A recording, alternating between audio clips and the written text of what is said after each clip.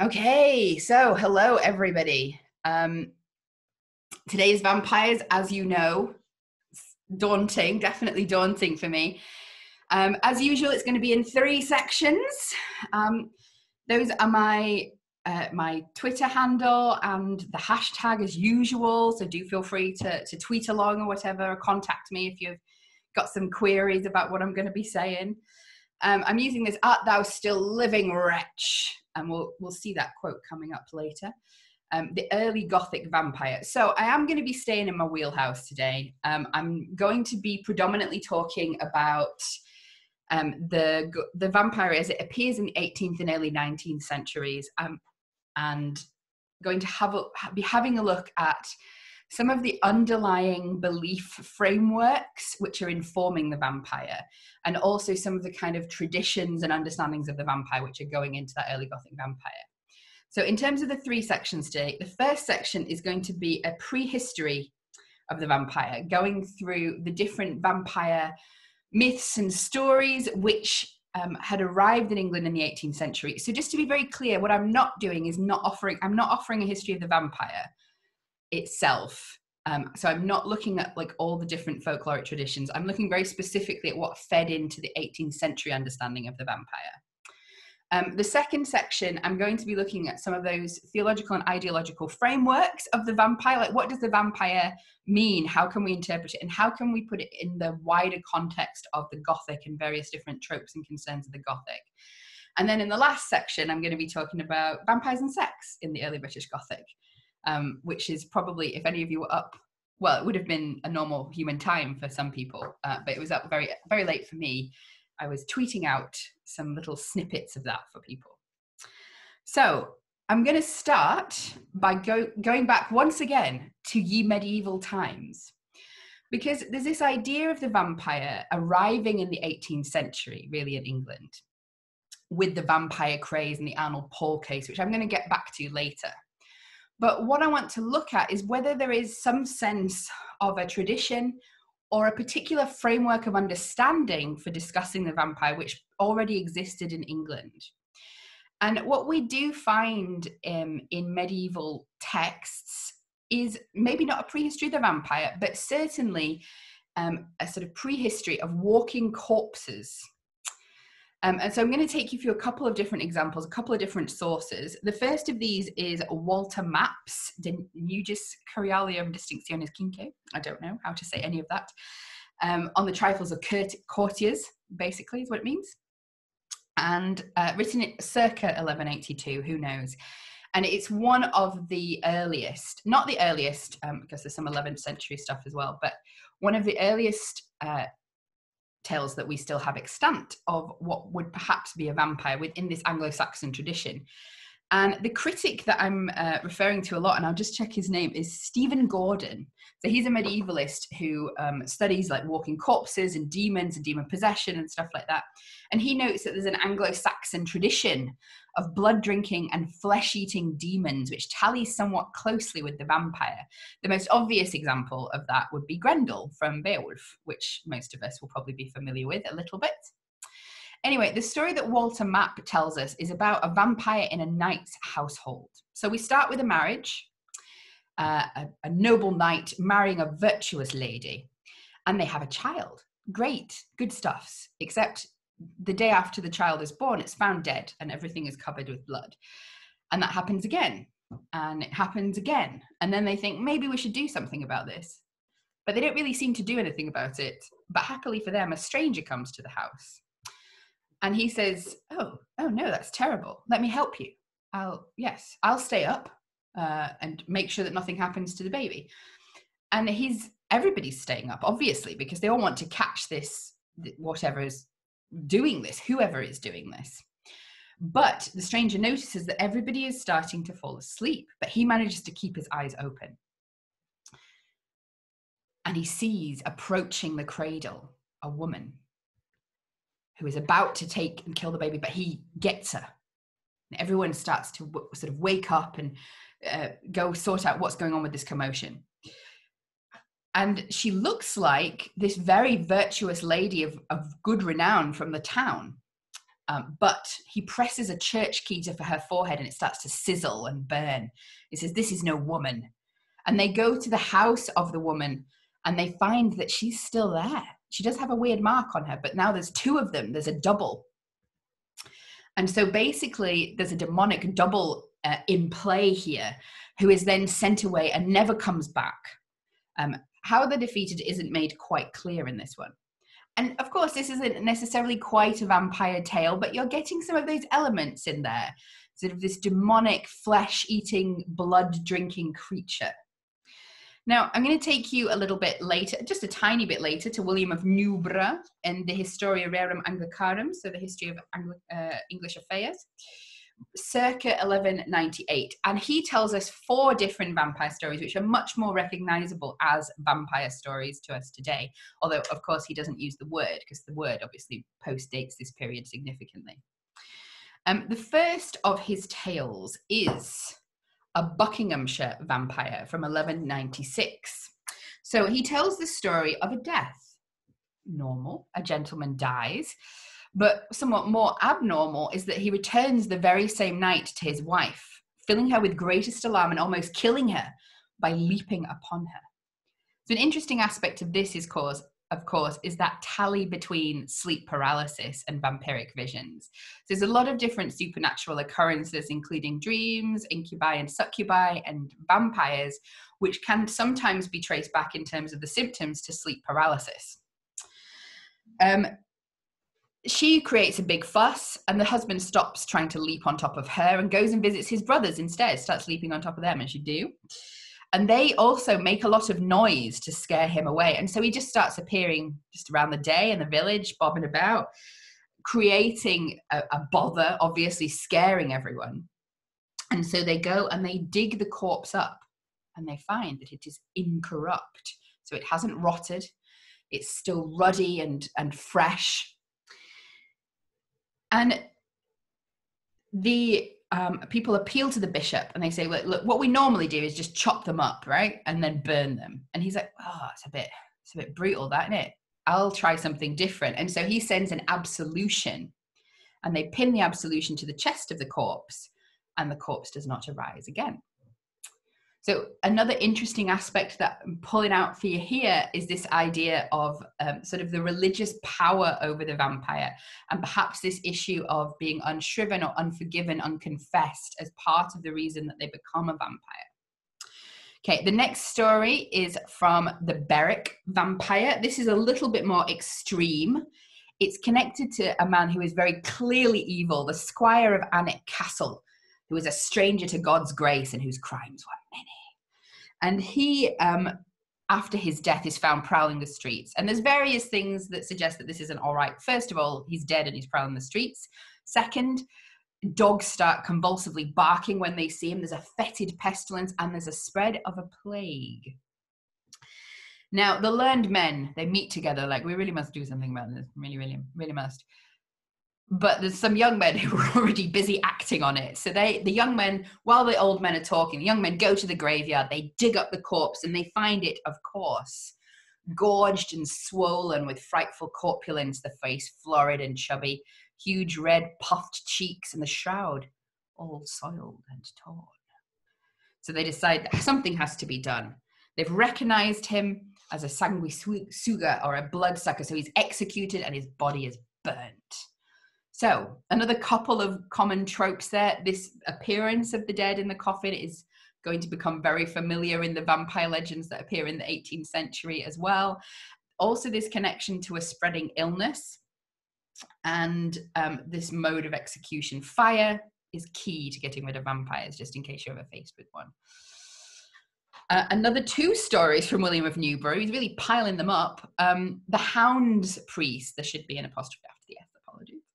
So the Hounds priest, he was called the Hounds priest. He was a chaplain, but he was an irreligious chaplain, and once again addicted to hunting with hounds. So he dies. He's buried in uh, the holy ground at Melrose Abbey, but the holy ground can't keep him, can't keep a hold. Um, and then he starts to appear at his former mistress's house outside his window. I mean, what is he doing there? Who can say? Who can tell? And so we have the beginning of a classic medieval joke a priest, a monk, and two powerful young men hold a vigil, but it doesn't get very funny, sadly. Only one of them stays. I guess the rest of them got bored, but happily it's the priest. And so when the devil raises up the corpse, the priest is like, I don't think so, Satan, and hits it with a spade. Um, uh, obviously, the dead man is wounded, and when they dig up the corpse the next day, when they disinter it, they find that the wound is there. So it obviously was him. And once again, cremation is the way forward. The last story, again, quite fun, um, is the ghost of Anantis. So once again, we have a man of ill repute, but this time, it's he's still alive at this point. Um, he returned from the wars wherever he was. He got married, but he's he's worried about his wife. Is she faithful? And so he's like, I've got a I've got a dead cunning plan. I'm going to hide in the rafters of the bedroom. So he does. Um, if any of you were with me on Wednesday evening, Queen of the Gam- Damned gift photo, photo there. I knew it would come in useful one day. He's hiding up in the rafters and splat, he falls out of the rafters because he sees her having sex with another guy and he's like, oh no. Um, so as he lays broken upon the floor, he's so angry that he refuses to confess or he fails to confess. And so he becomes a wandering corpse as the pestilential stents, there's a plague as usual. And um, this time it's two brothers that come to the rescue. And they come and they cut out his heart and then cremate him as usual. So you've got a few different killing methods coming up here, but there's definitely some common features that we're finding. And these are far from the only stories. Um, these accounts also do frequently mention that these that such stories are common in the period. To what extent that's true, it's unknowable. Um, but you do have a lot of other sort of medieval and early modern sources about the Walking Dead, such as William of Malmesbury's uh, Witch of Berwick story from the Gesta Pontificum Anglorum, Geoffrey of Burton um, in the Vita Sancta Modwenna Virginis. Oh my God, why didn't I just translate these? Um, is uh, talks about a shape shifting one where they change into various different animals, which is an interesting uh, part of the later vampire myth, of course, the Chronicon of Lanercost, the Monk of Byland, uh, and their accounts really do blur the line between the idea of the corporeal ghost and the vampire, which is quite interesting, and the Arnberg Papers. And there's a couple of common features here. So, is there a sort of prehistory of the vampire in a continuous thread all the way through? No, there isn't um, I would argue. But there is um, a sense of an, a medieval and early modern prehistory of the walking dead, which offers already these paradigms for understanding and perhaps offers as well um, for later writers, particularly material to, to take from. And there are common features that are appearing that express something about an understanding of how this living death works. And it's broadly speaking, it's a theological understanding, and it's something that's not disappeared by the 18th century, as I will discuss at length. So the risen dead are usually uh, evil. They're usually depraved in life. They might be unshriven, um, angry. They uh, there's quite a, a, lot of these cases which are linked with sleep paralysis, um, a common trope later, of course. There's a connection of a fatal sickness with the walking corpse the state of the corpse itself is ready in flesh and often like very bloody as well, with blood on the mouth, for example. Uh, the clergy, half the time, the clergy is engaged in this fight, and you have obviously the story of the absolution working. Um, methods of in- eradication are usually at this point just dismemberment or cremation. You've got the removal of the heart, um, but you don't have staking particularly. Um, and there's also this very clear emphasis on demonic agency. So, one of the stories from William of Newburgh, he says, by the contrivance, as it is believed, of Satan. So, you have this sense of the body of the corrupt being able to be animated by the demonic. So, that's what you get with the prehistory of the vampire.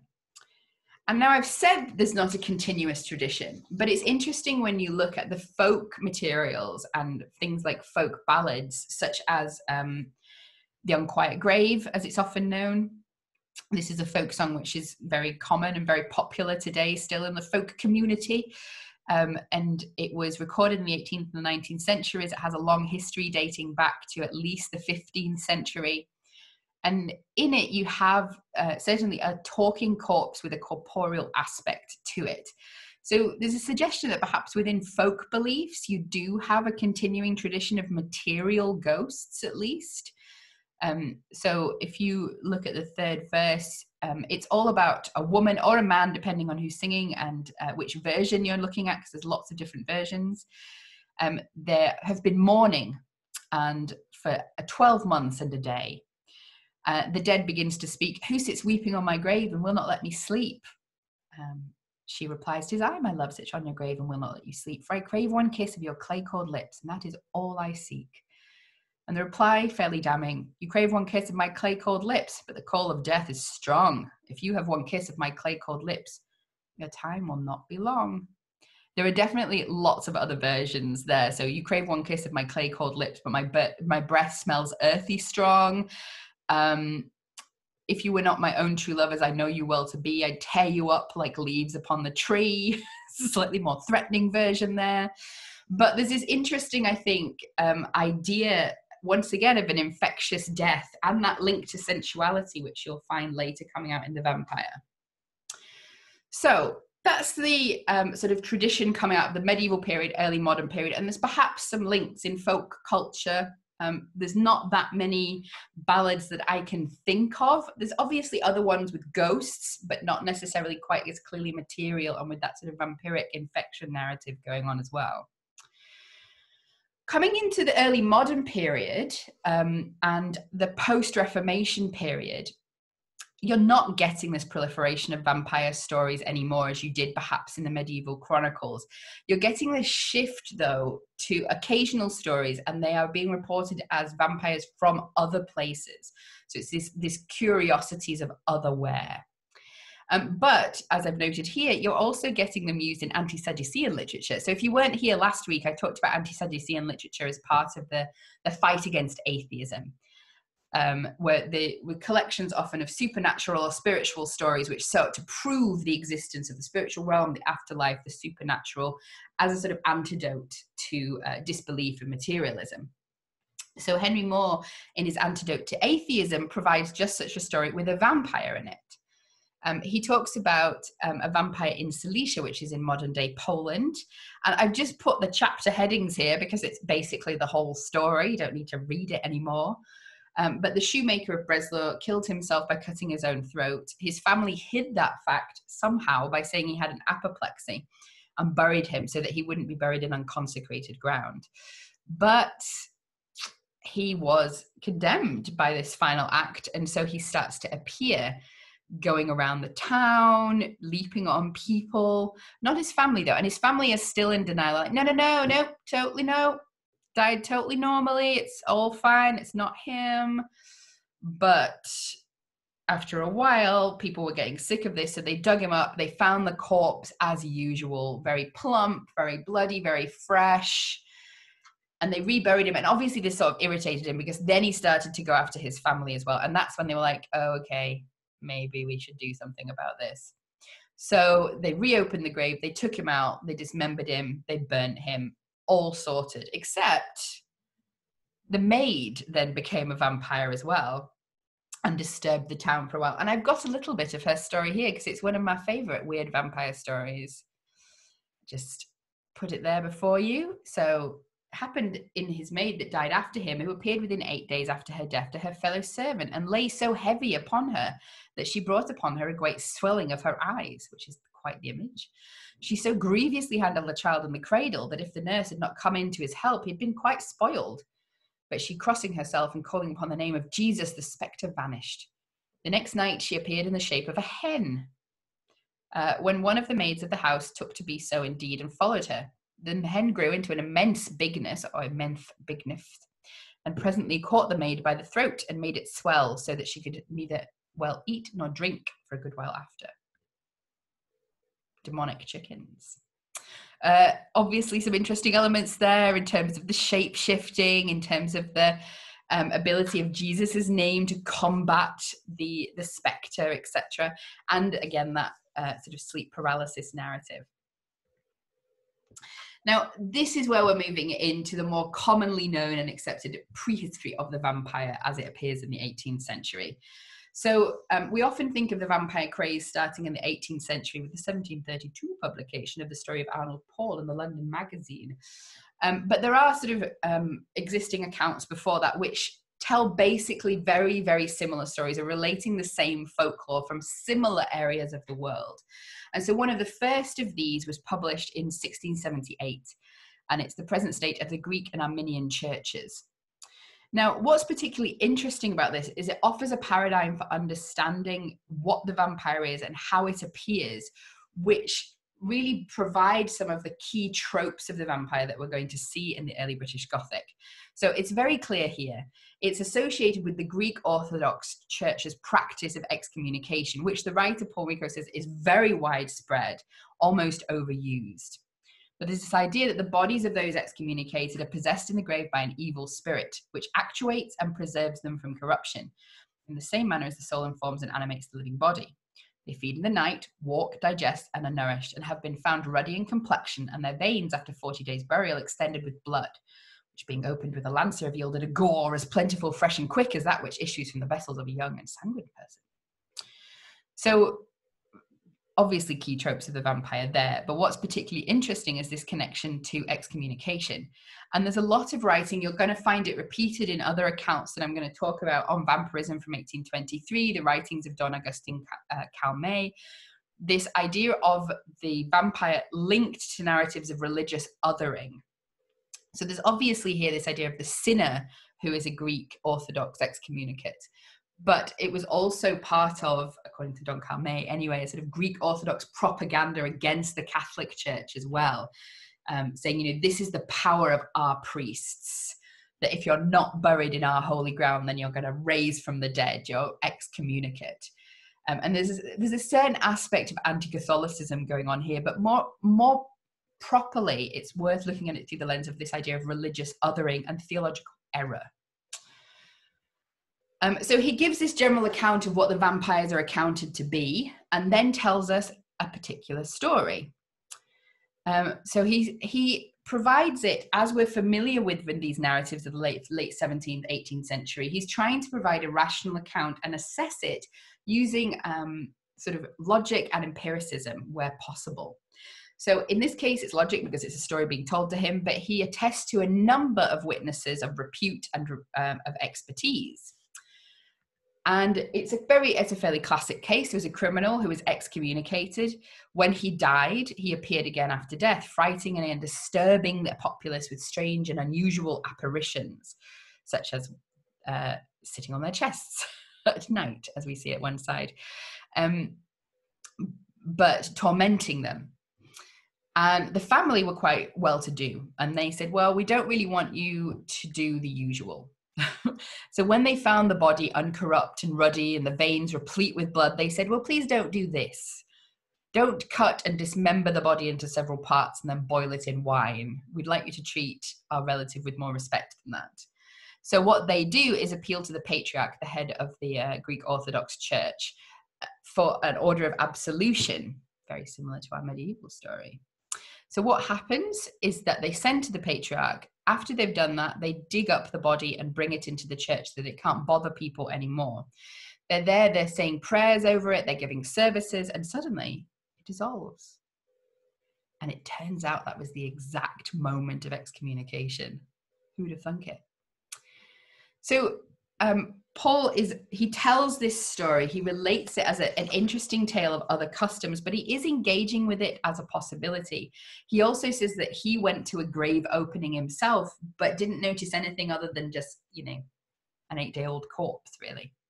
So, although he's engaging with it, there's this sense of a of a disbelief um, and of this kind of folkloric interest, this traveler's eye arguably this colonizer's eye going out and seeing the customs of others and assessing them through this sense of your own rationalism.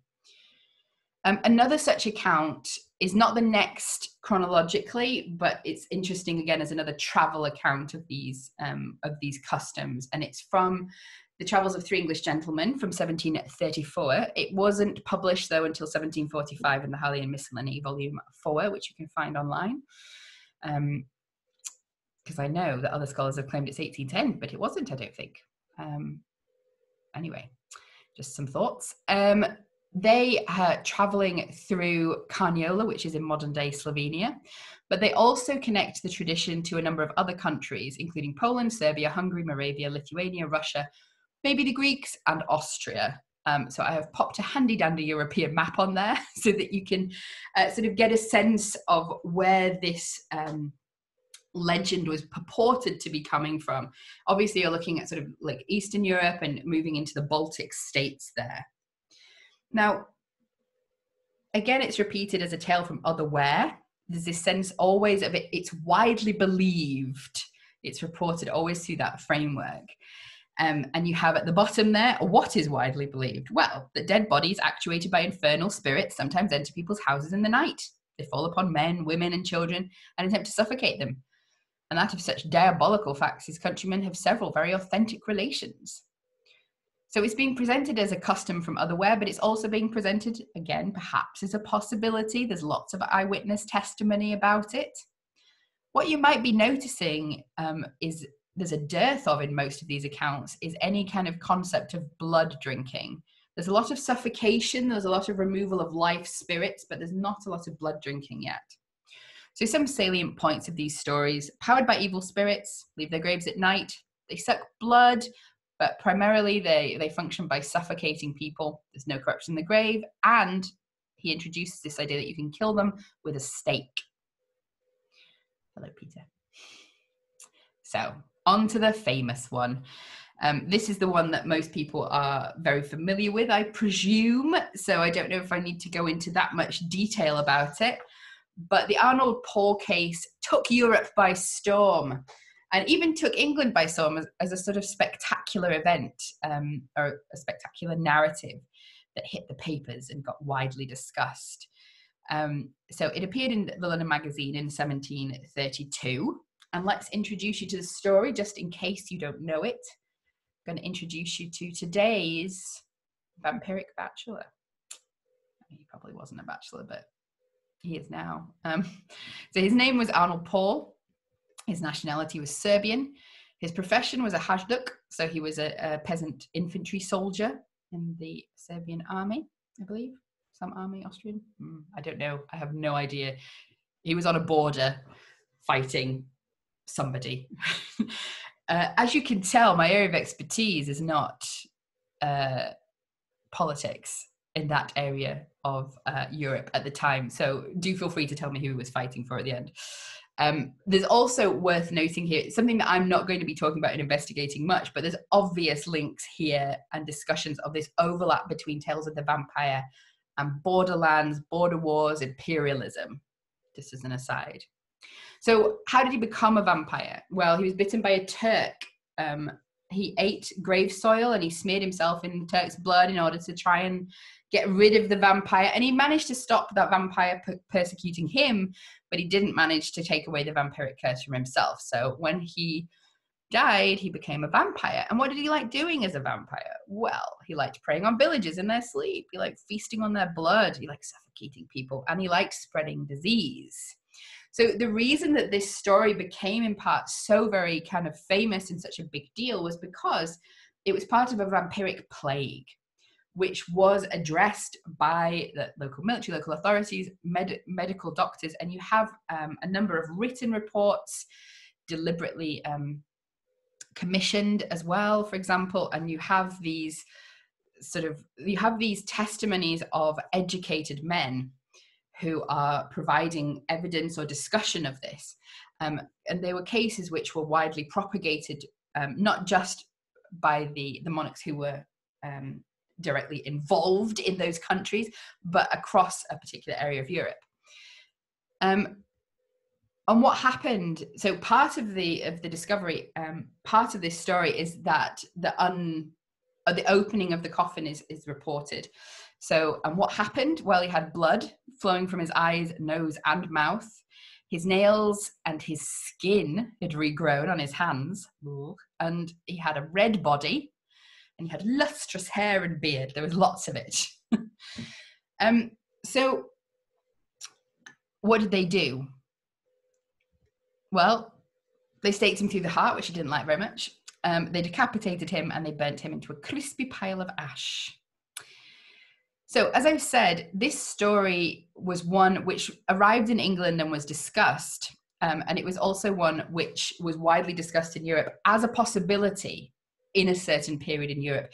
In that, it also echoed that 1718 case that I've noted at the bottom there. I'm not even going to try and pronounce it because I will get it wrong. Sorry, I've got an itchy nose. Um, both of these were engaged in that same kind of discourse. And what you have is this vampire craze in Europe in the, the, early years of the 1700s, where you have this idea of a vampire investigation. There's the investigation of specific events, an empirical approach. Um, there's a reliance on expert testimony and witness, which is being called upon and offered during these vampiric plagues. And then you also have a much wider philosophical debate. And Nick Groom points to um, a wide amount of sources. I don't know if he's caught them all. I have not found them all myself. Um, 12 books, four dissertations on vampirism, and over 22 treatises published in the three years that followed. So you certainly have this massive explosion of interest and discussion in the vampire. They didn't really make it to England. England wasn't a part of those discussions particularly. Um, I've also put to one side there one of the most famous works that discusses vampires in the 18th century, which some of you may or may not have read, um, which is uh, Calmet's dissertation on apparition, apparition spirits, vampires, and revenants in Hungary, Moravia, etc. Um, and this was written slightly later, so this was already in the 1740s. And what's quite interesting to note is that Calmet um, uses this text to discuss a lot of different spiritual apparitions, but the one of one of the ones that he's most negative about is the vampire. Um, he has a number of sort of objections and quibbles to put forward. Some part of that is his recognition of the fact that it's broadly anti-Catholic. It's a piece of Greek Orthodox propaganda in, in some of the cases that he mentions. Um, and also, he has a number of theological qualms and questions about the ability of the um, dead to be raised by demons. But what's going on in England? Do you have this kind of discussion as you do with the ghost? Do you have this kind of fantastic engagement with the vampire? Is it real? Is it not? Not so much. Not really. Because you don't have this ingrained uh, tradition or folk tradition which you're d- uncovering and discussing and you don't have lots of different homegrown examples to then investigate um, as you did with the ghost as we discussed last week. Uh, butler i think overstates it here but suggests that the phlegmatic english had reacted with lofty scorn from day one and after the rash of vampire treaties in the 1730s and 40s the monster ceased to provide an object of serious contemplation but certainly by the end of the century, you don't really have it being um, discussed as a possibility that much. Um, hardly at all. Um, the the investigations and discussions that went on in the 1730s and 40s all largely concluded it wasn't real. There was a lot of different medicalized explanations, for example, of how these plagues had happened, including kind of um, an appeal to poor diet, etc. Um, and you do get this idea of the vampire as spectacle in the way that we discussed last week. So, this idea of the vampire is existing within the fictional world which you're creating in a Gothic text, but not something that you're being asked to engage with and engage with its reality and engaging with its sort of theologies, for example, or the beliefs endemic in it. You're being asked to engage with it as a symbolic carrier of meaning, but not as potentially real. So you do get this very quick shift in um, in England to the idea of the vampire as metaphor, and particularly as political metaphor. So in the very same year as the um, Arnold Paole case was reported in the London Magazine, you have uh, Darnett, I think it is. Um, he's there's a very long article on it, but he's discussing vampires. He suggests that these Arnold Paole cases are allegory themselves, um, connecting it to kind of imperial um, discourses or anti-imperial discourses. These vampires are said to torment and kill the living by sucking out all their blood. A ravenous minister in this part of the world is compared to a leech or a bloodsucker and carries his oppressions beyond the grave by anticipating the public revenues and entailing perpetuity of taxes, which sounds horrendous, which must gradually drain the body politic of its blood and spirits. So this sense of the vampire keeps then getting used in political allegories. It's also used to allegorize other things. You'll see it used in discussions about business and uh, sort of capitalist businessmen, and also, of course, as uh, relatively frequently as an anti-Semitic trope, trope, particularly in discussions of money lenders. Um, you also find in one of my favorite super random examples um, that it's become metaphor just for greed as well in different ways. So um, in John Cleland's The Memories of Memoirs of a Coxcomb, I don't know if any of you will have read it. Um, do I recommend it? No, it's it's a it's a wild ride, um, but it's not necessarily particularly a pleasant one. Um, anyway, John Cleland uses this example of the vampire or this idea of the vampire. So he's talking about a lady, her lover is hiding in the house and watching what she's doing. And wait, she's got a breastfeeding lady in the house and her servant, who she never talks about. What's going on? Um, what's going on is this. She could not, however, prevail over the nurse to conquer her fears and aversions so far as to suckle this babe of delight a grown man. But by dint of increasing her hire, and then with her face averted, she gave him her breast, which he fastened upon and looked more like a sucking demon or a vampire escaped from his grave than a human creature. Presented, in short, a horrible caricature of the story of Roman piety, where a daughter saves the life of her condemned father by the nourishment of her breast. So, uh, if you don't know, John Cleland writes erotica, um, but yeah. Um, so there you go already the vampire is um, becoming sort of becoming metaphor, becoming allegory, um, becoming a symbolic carrier, but not uh, really being engaged with as uh, as a reality. So that brings me to the end of the prehistory of the vampire. So time for some questions with this amazing GIF. Um, and whatever I wrote at the top there. In the touch of this bosom, there worketh a spell that is Lord of thy utterance. So break the spell and ask a question. There you go. I had fun with my gifts today, guys, just so you know. Um, yeah, do you have any questions, quotes, problems that you would like to point out with me and my work? I'm slightly hiding from Kaya, I think.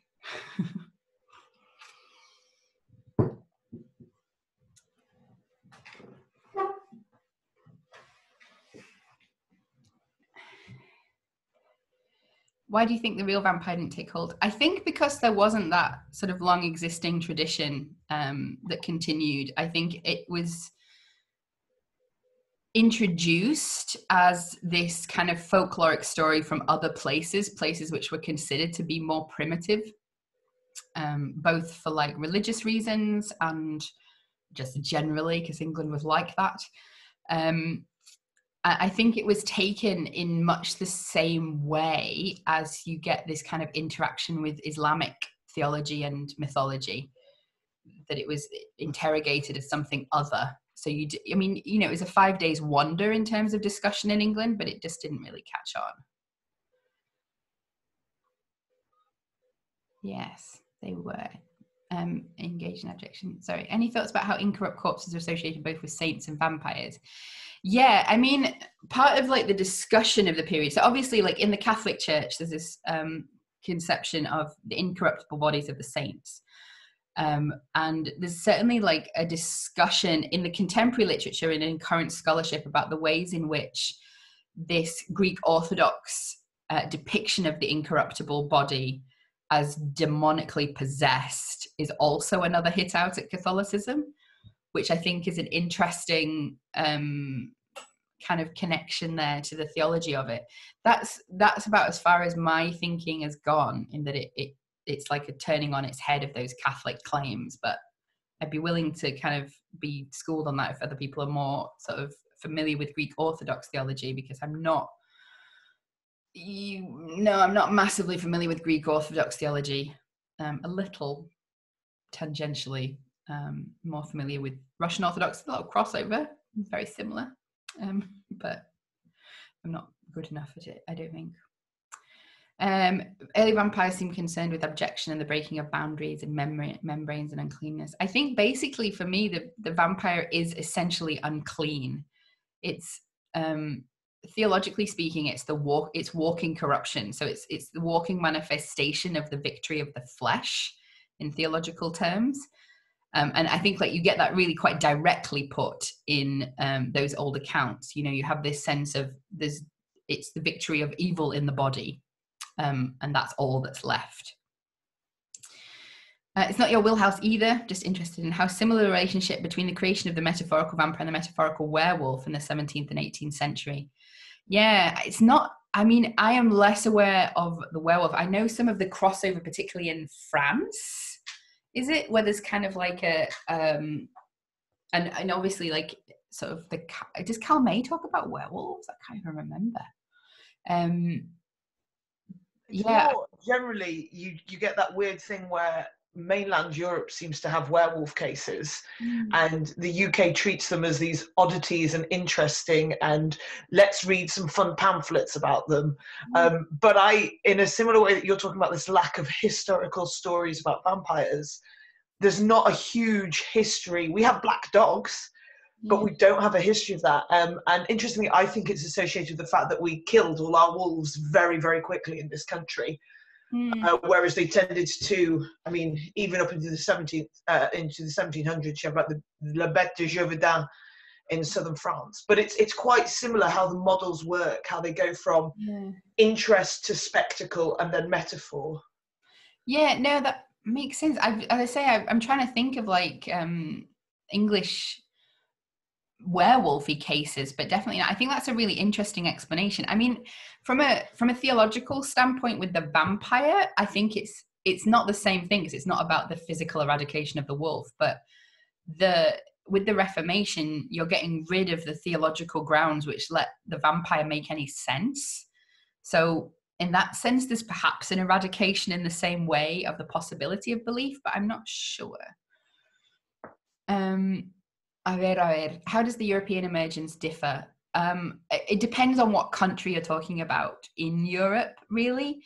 Um, but uh, you've got it as a sort of ingrained belief in various different uh, European countries, including very obviously Greece, um, but also quite a number of Eastern European countries, although the borders of those countries are very different than they are today. Um, and you have this kind of folk belief that's very clear. But then you've also got, because of the uh, because of the historical shifts and who was in charge and ruling and the different empire things that were going on in that area. Um, you have this engagement with the folklore of those countries from outside sources, is how I've understood it. And so you have this engagement then of the sort of the new um, ruling ideology with an existing folkloric tradition and this attempt to engage um, but ultimately reject it, is how I've seen it.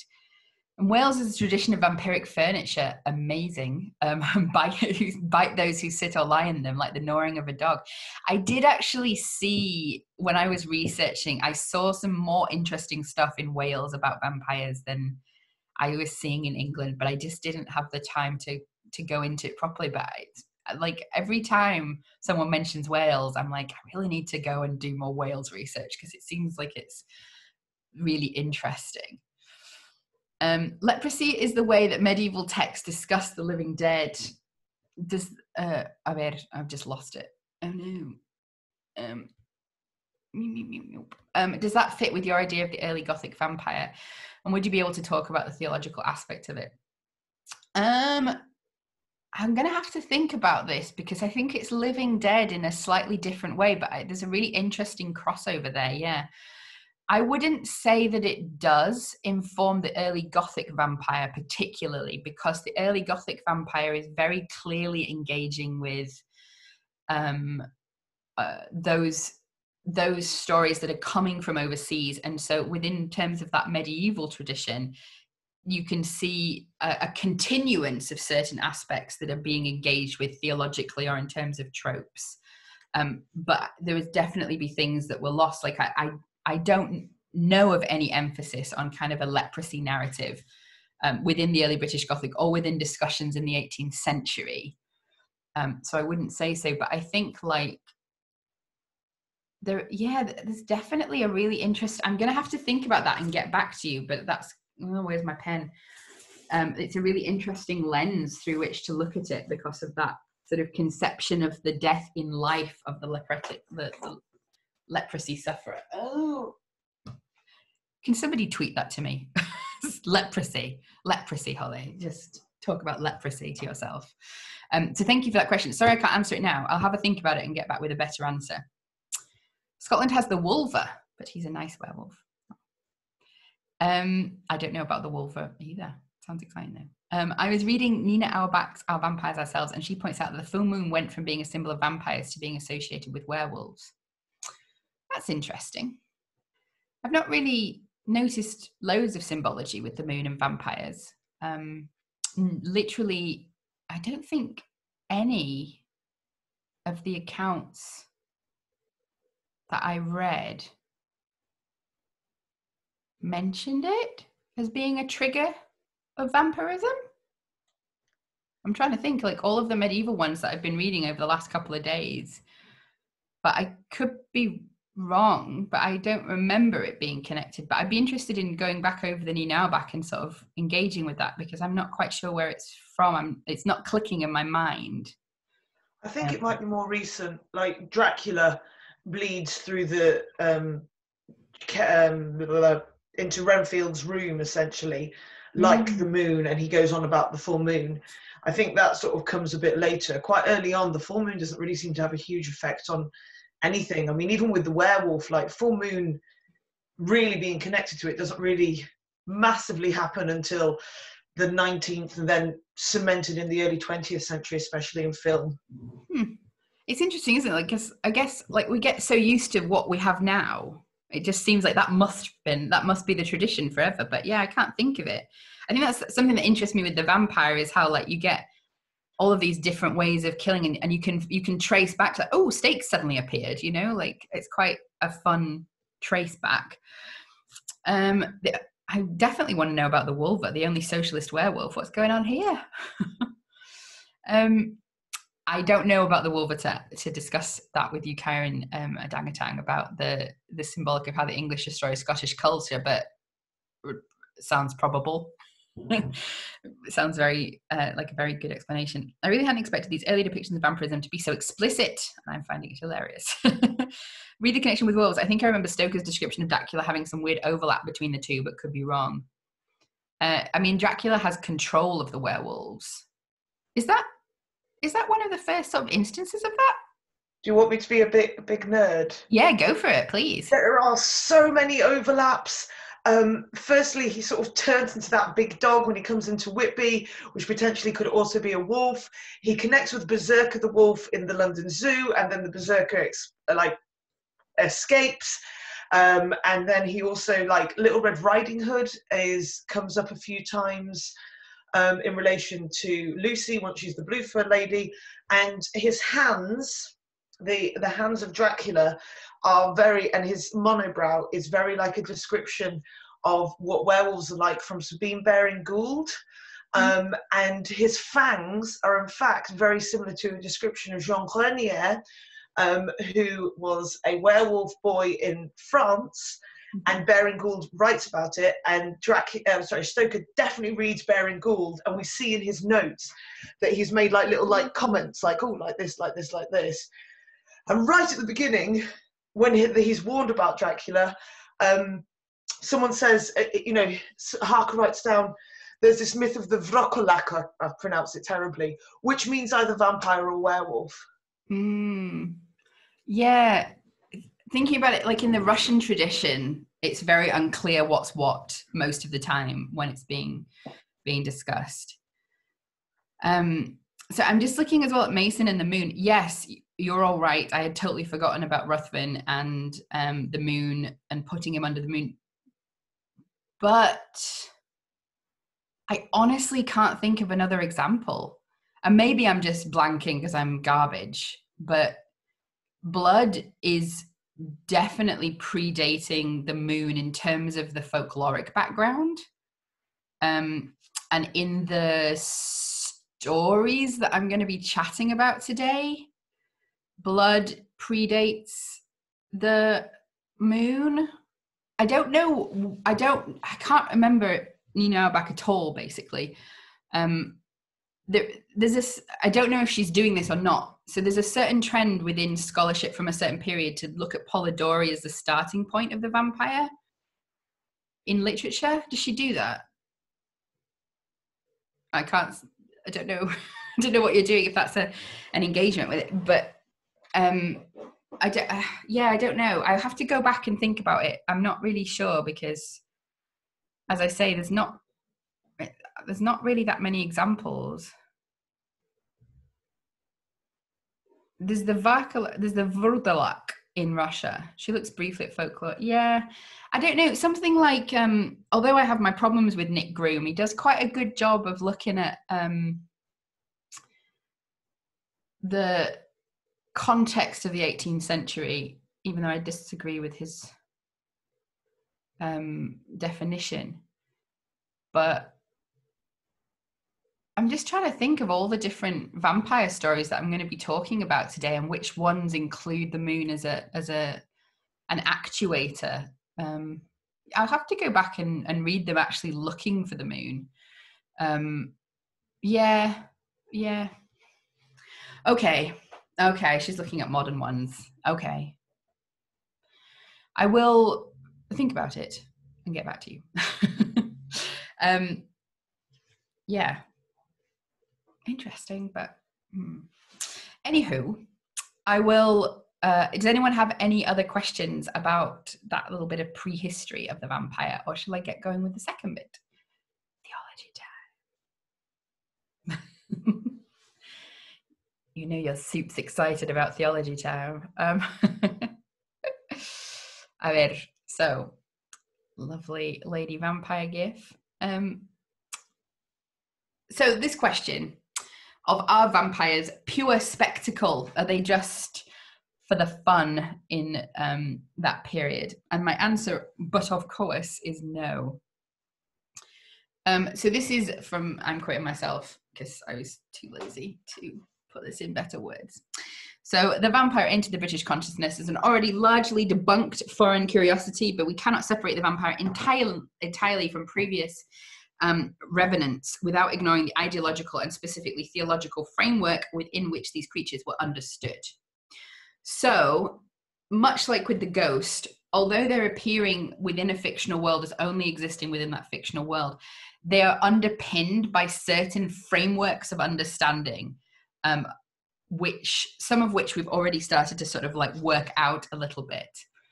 Um, as uh, Agnes Murgoci said quite a long time ago, vampiric laws always tend to throw light on ideas about the body and soul and about the relationship of body and soul after death, reflecting definitely in the English tradition a, a very specific Christian conception of the um, connection between body and soul. Uh, Victor Sage, who I don't know if any of you know him, he uh, wrote on theology and the Gothic back back in the day. Um, uh, suggests that the vampire myth is never neutrally inherited, always an element in the contemporary politics of belief. You can't disassociate it entirely from what it is possible to understand about the issues with which the vampire engages, if that makes sense. So the vampire is inevitably engaged with a number of different topics that I've put here. Um, like the other immortal immortals of the early British Gothic, immortal immortals, the vampiric figure is never wholly extricable from theologies of resurrection, theologies of the body and soul, discussions of tolerance and damnation. Um, that last bit comes about because of this connection with religious othering that you get in the vampire. So, what I'm wanting to do and study with the vampire is often we sort of look at the vampire apart. Um, we've had a really interesting discussion about trying to look at the vampire alongside werewolves, which I've not done, which would be a better thing, to, a, a, good thing to do. Um, but what I'm wanting to do is within the sort of context of the British Gothic is put the vampire into the context of other immortal wanderers and the theological frameworks, these broad theological frameworks, which are um, really uh, lying at the root of all of these depictions of immortal wanderers in the early British Gothic. So, um, before I do that, I want to point out the ways in which all of these discourses, both these medieval and Renaissance discourses and these inherited discourses from Silesia and Greece, are all um, really sort of underpinned by different theologies. So you have um, exorcism, wrong, excommunication. I'll change that for putting the slides up. Uh, so vampirism is a result of excommunication. And I, I mentioned before that you get this as a recurring motif and sort of a central part of the understanding of what the vampire is during the period because you have this um, 1823 article on vampirism where it goes back to this idea that we apprehend as the real source of the vampire superstition and although this is of course just one man or woman or person um, saying this you certainly have this idea of the continuance of the importance of that narrative for how the vampire was understood and how the vampire could be used and portrayed. So there's this continual connection with religious othering with damnation. Uh, this idea, of course, is vampirism as a punishment is uh, sort of universal within those early sources. We, and you know we have to disconnect it in some ways from the ways that we see vampirism now it's not just about edward cullen torturing about wibbling about how sad his life is these are discourses in which definitely I would say all of the vampire stories pretty much within that early period very heavily lean into this conception as vampirism as a damnation, a condemnation, and a curse. Um, vampirism is the offspring of religious othering, I've already discussed. And vampirism, this is the main theological point here, as a form of embodied damnation. Um, so, what is the theology of this embodied damnation? I'm going to try and take you through it slowly and if you're a theologian, you'll understand that this is quite like a basic entry point to the theology of this. So excuse that. I'm very happy to take questions. Um, so, first of all, what is the underlying theological framework? Point number one the idea of inherent duality, as we see here in Galatians. The flesh lusteth against the spirit, and the spirit against the flesh, and they are contrary the one to the other, so that ye cannot do the things that you would. Um, I I use a 1700 version of the Bible because why not? It sounds cooler. Um, basically, this idea that humans are always composed of both flesh and spirit, not like stuck together with super glue or anything, but that we are inherently dualistic or we have inherently dual natures. Um, a, a, very common and deeply irritating mistake um, in in literary theory is this conception of the flesh and the spirit as being the body and the soul. They're not synonymous terms. The spirit and the soul are roughly speaking synonymous. The spirit is the idea of the part of you that is eternal, immortal, connected to the divine, connected to his essence, and is capable of being uh, pure and saved and washed clean. The flesh is the old self, the corrupted self, the sinful self that you've put up. And it's often connected to the body, but it's not synonymous with it. It's not the idea that everything about the body is bad, but it is the idea that there's an inherent sort of corruption going on. Because, as we're told in Romans 6:23, because Adam ate that apple, the way everybody is condemned to die, and the wages of sin is death. We're all inherently depra- depraved, total depravity. Um, we're all inherently corrupt and we've inherited death in our bodies, in our corrupt bodies from um, Adam. And that's not to say all of our body is corrupt, but it's like imagine you've popped an ink blot on me. It's that sort of staining, which is ineradicable from the body, but eradicable from the soul. Very, very loosely.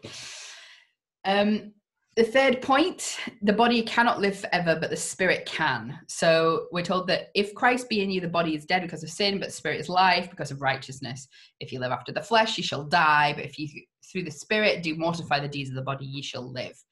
So there's this differentiation. The body has to die but the spirit will live um, and that that thou sowest is not quickened except it die. You have to die bodily. You have to undergo the natural death to avoid um, to get to get the possibility of a spiritual life. Um, and there's also a sense this is much more dependent on the different theologies of various denominations churches and individuals. But um, you have this idea of the resurrection body so that you um, will be raised into a new physical body potentially and the corruptible must put on incorruption and the mortal shall have immortality just as an aside here, um, don't get your hopes up too high. So even if you're resurrected, as you will be, you might be resurrected into the resurrection of the unjust and then dumped in the fire. So don't get your hopes up.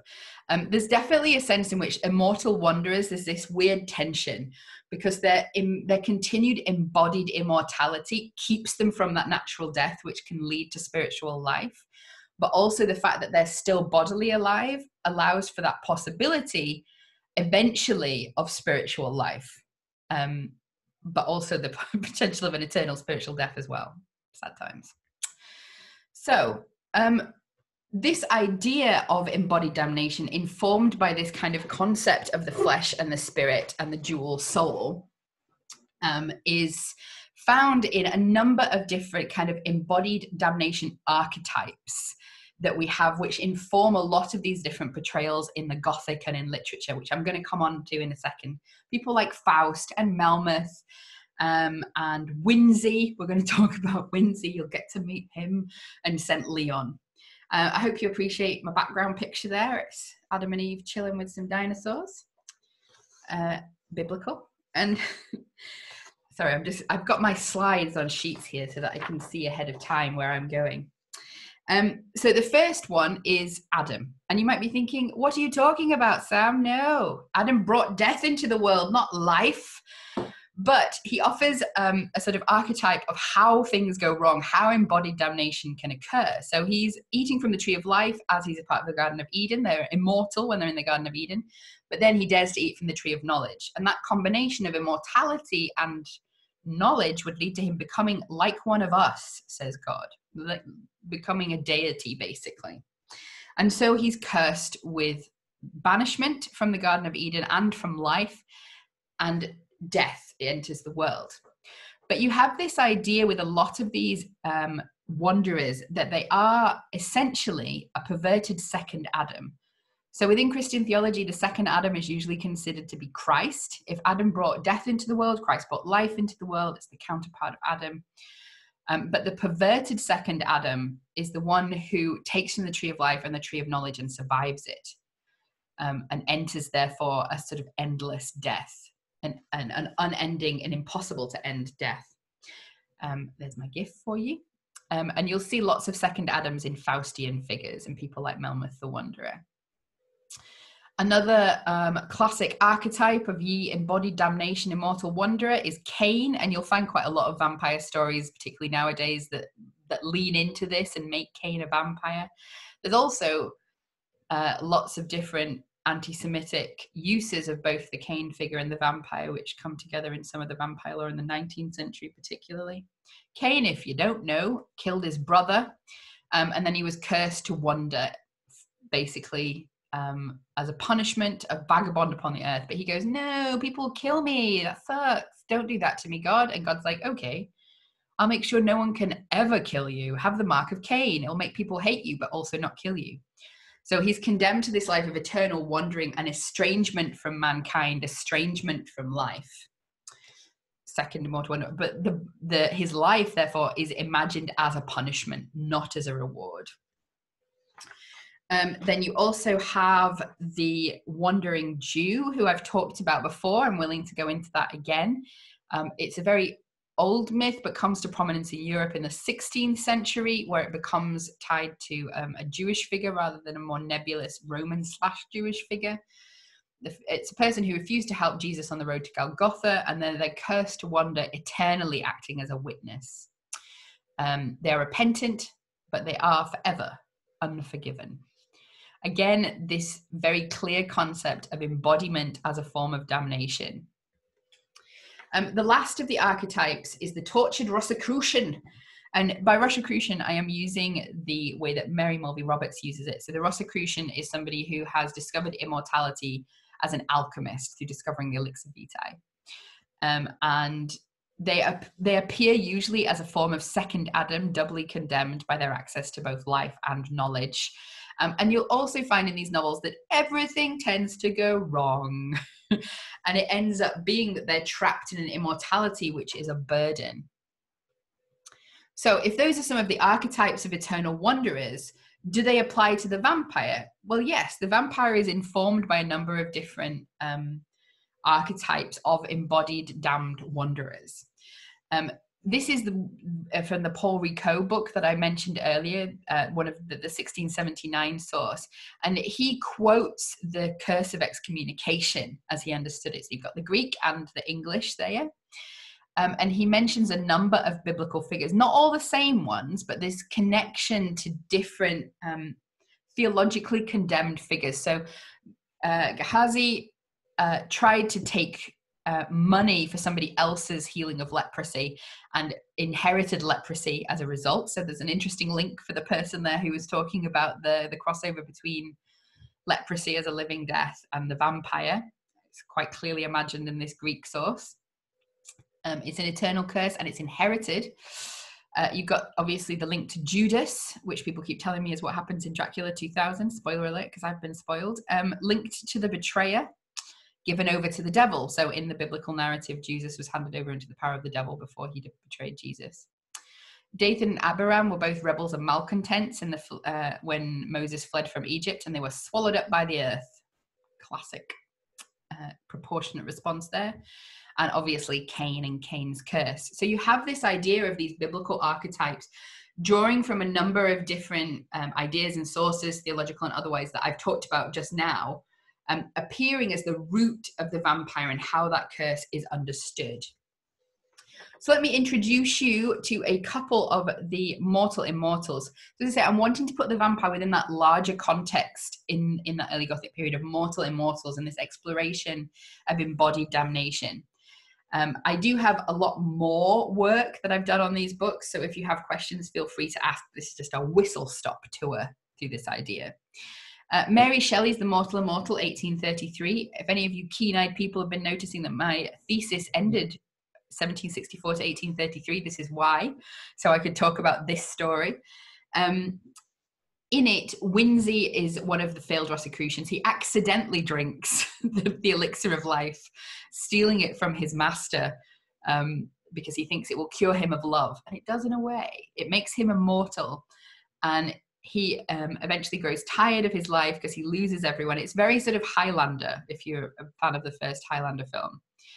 Um, except his wife is kind of awful but he imagines his immortal body as a tenacious cage for a soul which thirsts for freedom and his plan eventually if he if he lives through what he intends to do in exploring the arctic is to destroy himself atom by atom um, in st leon by william godwin you have another failed rosicrucian um, this is actually st leon talking this is the man nicolas zampieri i think who gave him the elixir.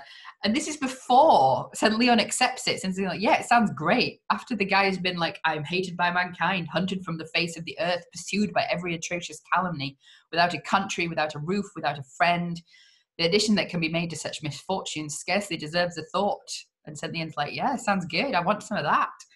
And obviously, it all goes wrong, and his um, immortality is imagined as a form of kind of continual repetition uh, of a lack of growth and a continual sort of entrapment.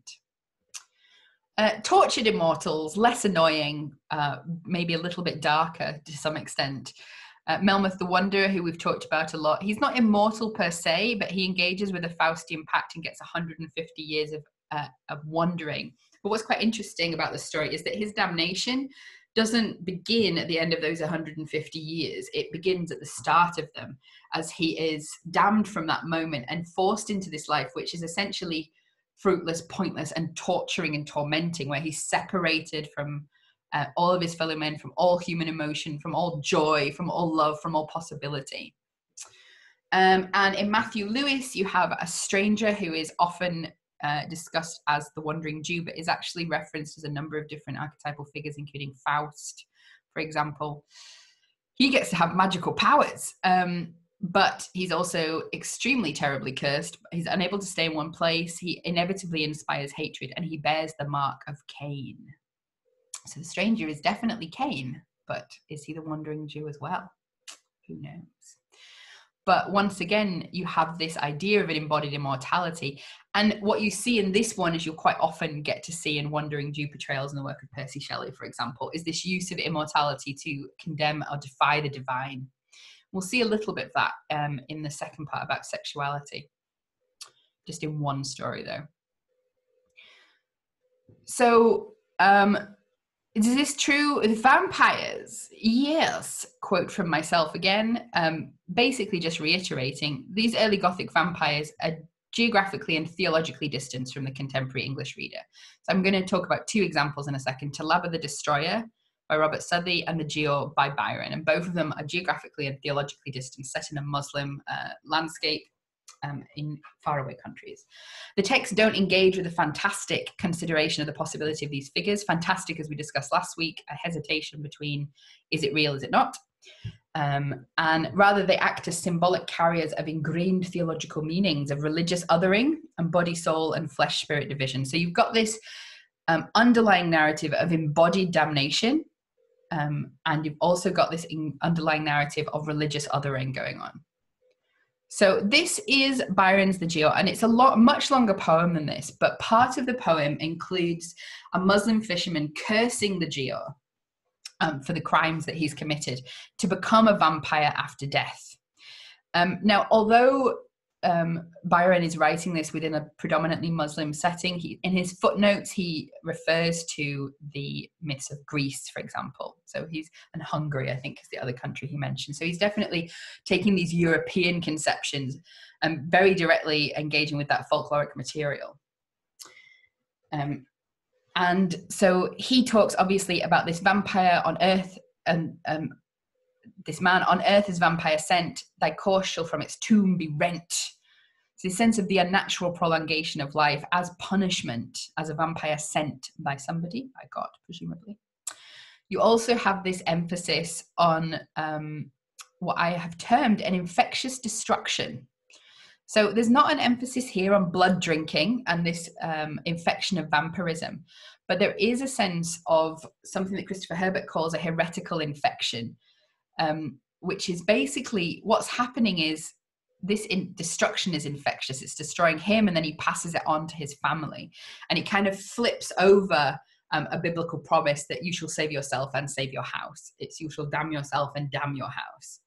Um, and he's, you know, he's going to have to drink the blood of all thy race, there from thy daughter, sister, wife. At midnight, dream the stream of life. Um, and obviously this idea of the vampire's lack of will within this situation as well again really underlining that conception of a, um, a divine injunction a divine punishment this is from Thalaba the Destroyer by Robert Southey um, from 1801. It's a much, much longer narrative poem about a Muslim hero who's he's basically a Protestant in disguise in terms of how he speaks, what he says, how he paraphrases the Bible all the time. Um, but he is on a quest, quest, a quest to destroy sorcerers and magicians and demons. Um, but he meets Aneza, who is a lovely young lady, falls in love as you do, wanders off for a while, comes back, and she's dead. Um, goes to her grave at night, and in that hideous light, Aneza stood before him. It was she. Her very lineaments, such as death had changed them, livid cheeks and lips of blue, but in her eyes there dwelt brightness more terrible than all the loathsomeness of death. Still out there living, wretch. Told you, in hollow tones, she cried to Thalaba, And must I nightly leave my grave to tell thee still in vain God has abandoned thee? This is not she, the old man exclaimed, a fiend, a manifest fiend. And to the youth he held his lance, strike and deliver thyself. Um, the, the old man is her father, by the way, just as an interesting point there. I don't think in this example we're getting, as we do in the Giaour, a sense of religious othering and its connection to the vampire, because both of the protagonists are Muslim. But um, I think what we do get here is quite a, a key overlapping um, of theology and the vampire. We also get a slightly different understanding of the vampire here as a reanimated by a demon um, soul very specifically with the spirit of Aneza actually there because when she's killed she cries out thank you I'm free basically and then drifts off into the ether presumably but what we do get is the idea that the killing of the vampiric self dislodges the demon and ends the torturous imprisonment of Aneza in the space between natural and spiritual death so after natural death and before spiritual life and the demon of disbelief has been defeated, setting both Aneza and Thalaba 3. So you have this kind of vampiric conception, this vampiric self, as disbelief and doubt.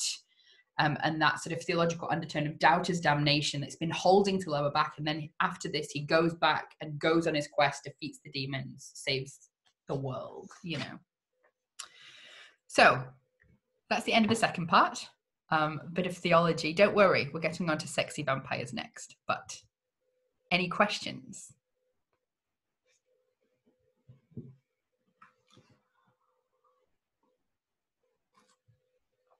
Hmm. Um, I think I remember the concept of a, a, sort of mirrored Eve and Lilith having some link to vampirism. Would I be right in saying that? Yes, definitely. So, if we're talking about the tradition of female vampires, there's often like a really clear connection to the myth of, uh, to the legend story of Lilith. Um, and this sense, like there's there's quite often like a very uh, overt discussion of female vampires as the as the descendants of Lilith, as there is, you know, with vampires in Cain sometimes. Um, of Judas even occasionally. Um, but yes, you do get that sense of um, this sort of demonic uh, other side of the coin. So the second Adam and the other Eve, the the rebellious, the uncontrollable, the sensual Eve, the monstrous one. Where does the repentant and fighting against their nature vampire begin? I mean, I think you're getting a sense of the tragic vampire already in the 19th century. Um, I've not read all of Varney yet because it's massive, um, but I'm not sure if there's definitely a sense of anti heroism in Varney as well. Um, and certainly, I would say if you look at um, I, am going to be looking at, at, them in a second, but if you look at Augustus Darvel, which is um, Byron's fragment about a vampire, that is much, he doesn't complete it, so you don't get that, but it's really leaning into that kind of Byronic, tormented soul narrative rather than the Polidori narrative where he's just like, yeah, I'm living the life, I'm ruining everything. It's great. Um, so I think like in the 19th century, you're really starting to get that you get it um, more frequently in the female vampire narratives earlier on. So I'm going to talk about in a second the way that you get that sort of appearing in um, Christabel by Samuel Taylor Coleridge. And also in arguably in Carmilla as well, you get this sense of that that tension um, between the vampiric desires and the awareness of the demon's own condemnation if that makes sense. And then obviously definitely as you're moving into the 20th century but you i think with the vampire you get this constant like you you get two streams that are always developing two or more.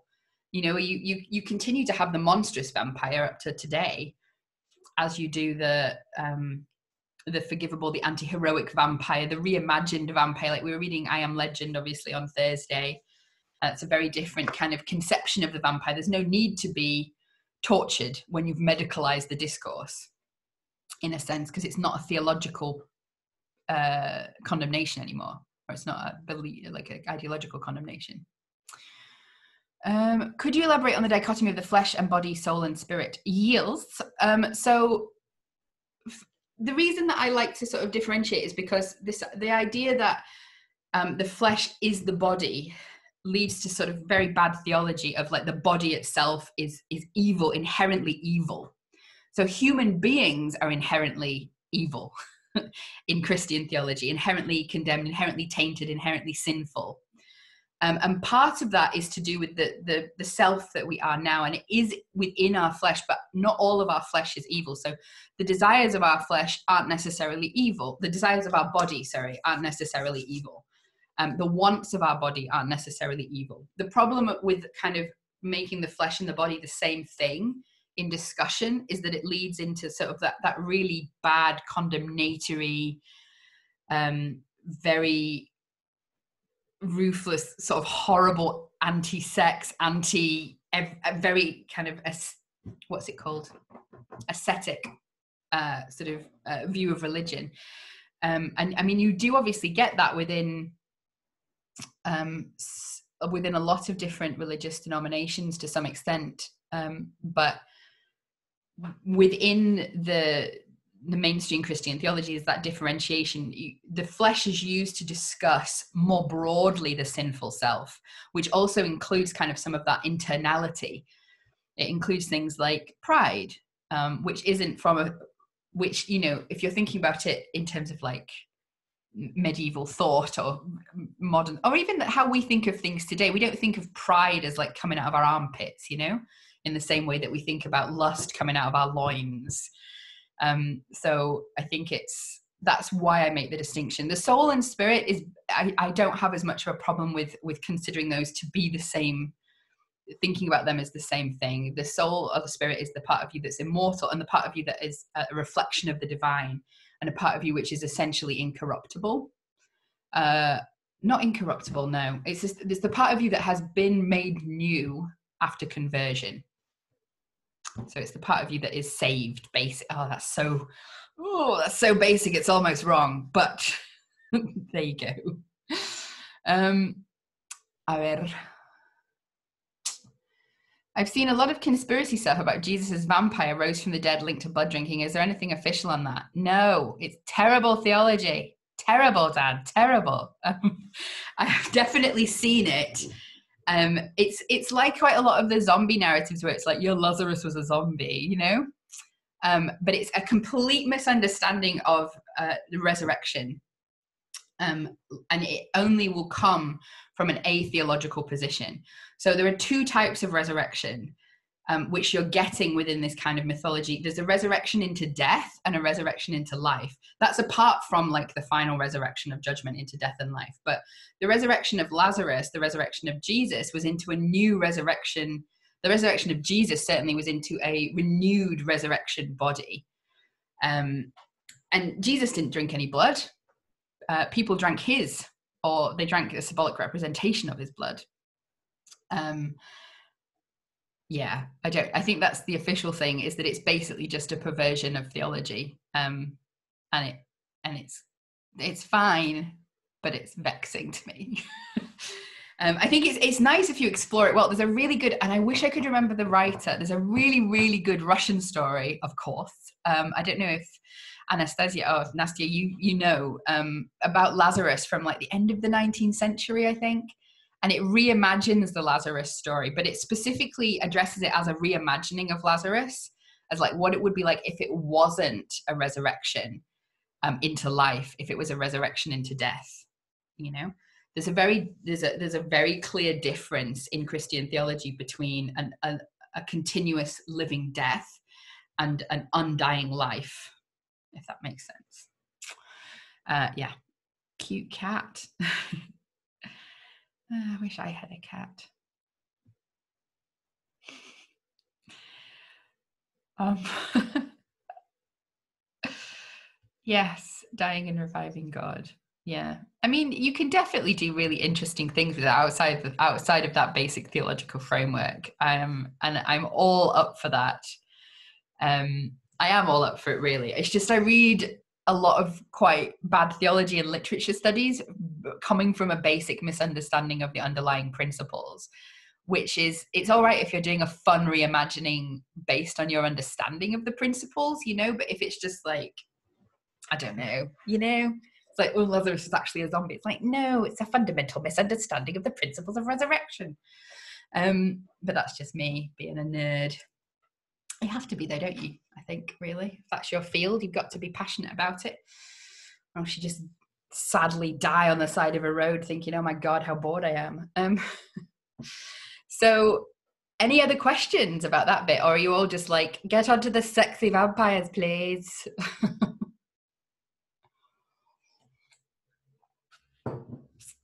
Sexy vampires it is. I'm gonna disappoint you. Um um, because I'm just I'm going to put up a couple of content warnings just even before I start. A, um, the way that sexuality is represented in um, the early vampire is very negative. Like what we get later on in the 19th century is obviously more of an exploration of transgressive sexual desire. um, although it's ultimately punished, for example, at the end of Dracula, or well, just in the middle when Lucy gets stabbed to death, um, symbolically. And uh, but then obviously in the 20th, 21st century, you have this move into uh, the use of the vampire because of the liminal space which the vampire dwells in anyway between life and death. You have this kind of investigation of the vampire as a liminal figure between other things as well. Um, and often like vampires are gender fluid. Like i think it was you mason who recommended a really excellent story with a trans man vampire i don't know if you if it was you and if you remember it but if you if you remember it can you pop it in the chat because that was really good mm, kim sparrows okay i don't I can't remember. I can't remember the link. Does anyone have the link? um, uh, so yeah, we're used to a kind of much more uh, sex-friendly vampire. That is not what we're about to go for. I am afraid. Um, and also, content warning: I'm going to be discussing uh, homophobia from the 18th century. Um, why I'm wearing my little little queer pride ghost um, to show that I very much don't agree. Also, it's quite ridiculous. Um, it's I'm using a text specifically about masturbation. Oh, thank you. Um, the link to the story is there. recommend it's a really good reimagining of the vampire. Um, uh, yes, so let's go for it. I tried to bring some gifts to lighten the mood, gifts and nice pictures. So, sexy vampires. Richard Roxburgh having a wee dance there. I know it's not the most popular, but I like him as Dracula. So, getting into this connection between the vampire and sexuality. Right from the word go, we have this probably the first literary vampire is Henrik August Ossenfelder's De Vampire from 1748. And I've just put the whole poem up because why not? Um, it's a translation, obviously, from the German, and I cannot attest to its complete accuracy. I don't. I've I've gone through it word by word with Google Translate before, but I'm not a German speaker, so I can't really help with this one. Um, the middle of the first verse doesn't sound great to me, but my dear young maiden clingeth, unbending fast and firm, to all the long held teaching of a mother ever true, as if in vampires and mortal folk on the Thesis portal, hay like, haydock like do believe. But my Christine, thou dost dally, and wilt, my loving parry, till I myself avenging to a vampire's health a drinking him toast in pale Tokay type of wine. I didn't know that because I don't drink. Um, and as softly thou art sleeping, to thee I shall come creeping, and thy life's blood drain away. And so shalt thou be trembling, for thus shall I be kissing, and death's threshold thou it be crossing with fear in my cold arms and last shall I be questioned, compared to such instruction, what are a mother's charms? So, a couple of points here. Uh, there's this very evident overlap between sexuality and the vampire. And it's also worth noting that this very obvious, uh, obviously faced theological threat of the vampire as well is combined with this kind of um, connection to sexuality. So he's not only um, killing her, arguably, or metaphorically raping her. Um, but he's also um, sort of is this opponent to the Christian teachings of her mother upon which she has been raised. So we often think of the first sort of aristocratic, sexy vampire being Polidori, but it's not true. I think within the German tradition, we have quite a few, and I'm going to share with you another classic story in a second, which I had so much fun reading. But has the most idiotic hero you've ever seen. Um, so we also have a connection with sexuality. And I said a little bit earlier that there's some of these that pick up on that use of the immortal wanderer as a challenge to God. And this is the one that I was thinking of. It's Goethe's Bride of Corinth. And it details the story of a man who goes to the house of his affianced bride as was but her family have um, converted to Christianity, and and he is pagan, and so they're going to not allow the marriage. We think she's still alive, but she's not. Um, anyway, he doesn't know what's going on, so he's just like laying about, as you can see from the picture, just you know, living his dream, and um, she comes to the bedroom at night and they have some sexy times. And then the mother comes in, and it's like, what's going on here? Oh my God, no. And then this, I've not, this isn't a full set of verses. I've just picked out bits because it's quite long.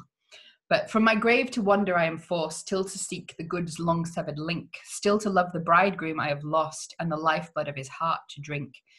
When his race is won, I must hasten on, and the young must neath my vengeance sink. Mother, to this final prayer give ear. Let a funeral pile be straightway dressed. Open then my cell so sad and drear, that the lovers may give, that the flames may give the lovers rest. When ascends the fire from the glowing pyre, to the gods of old will hasten, blessed. So there's obviously again this connection of the vampire and the vampiric curse with sexuality and with um, acting upon sexual desire. Um, and we'll talk about the theology a, a little bit of that later.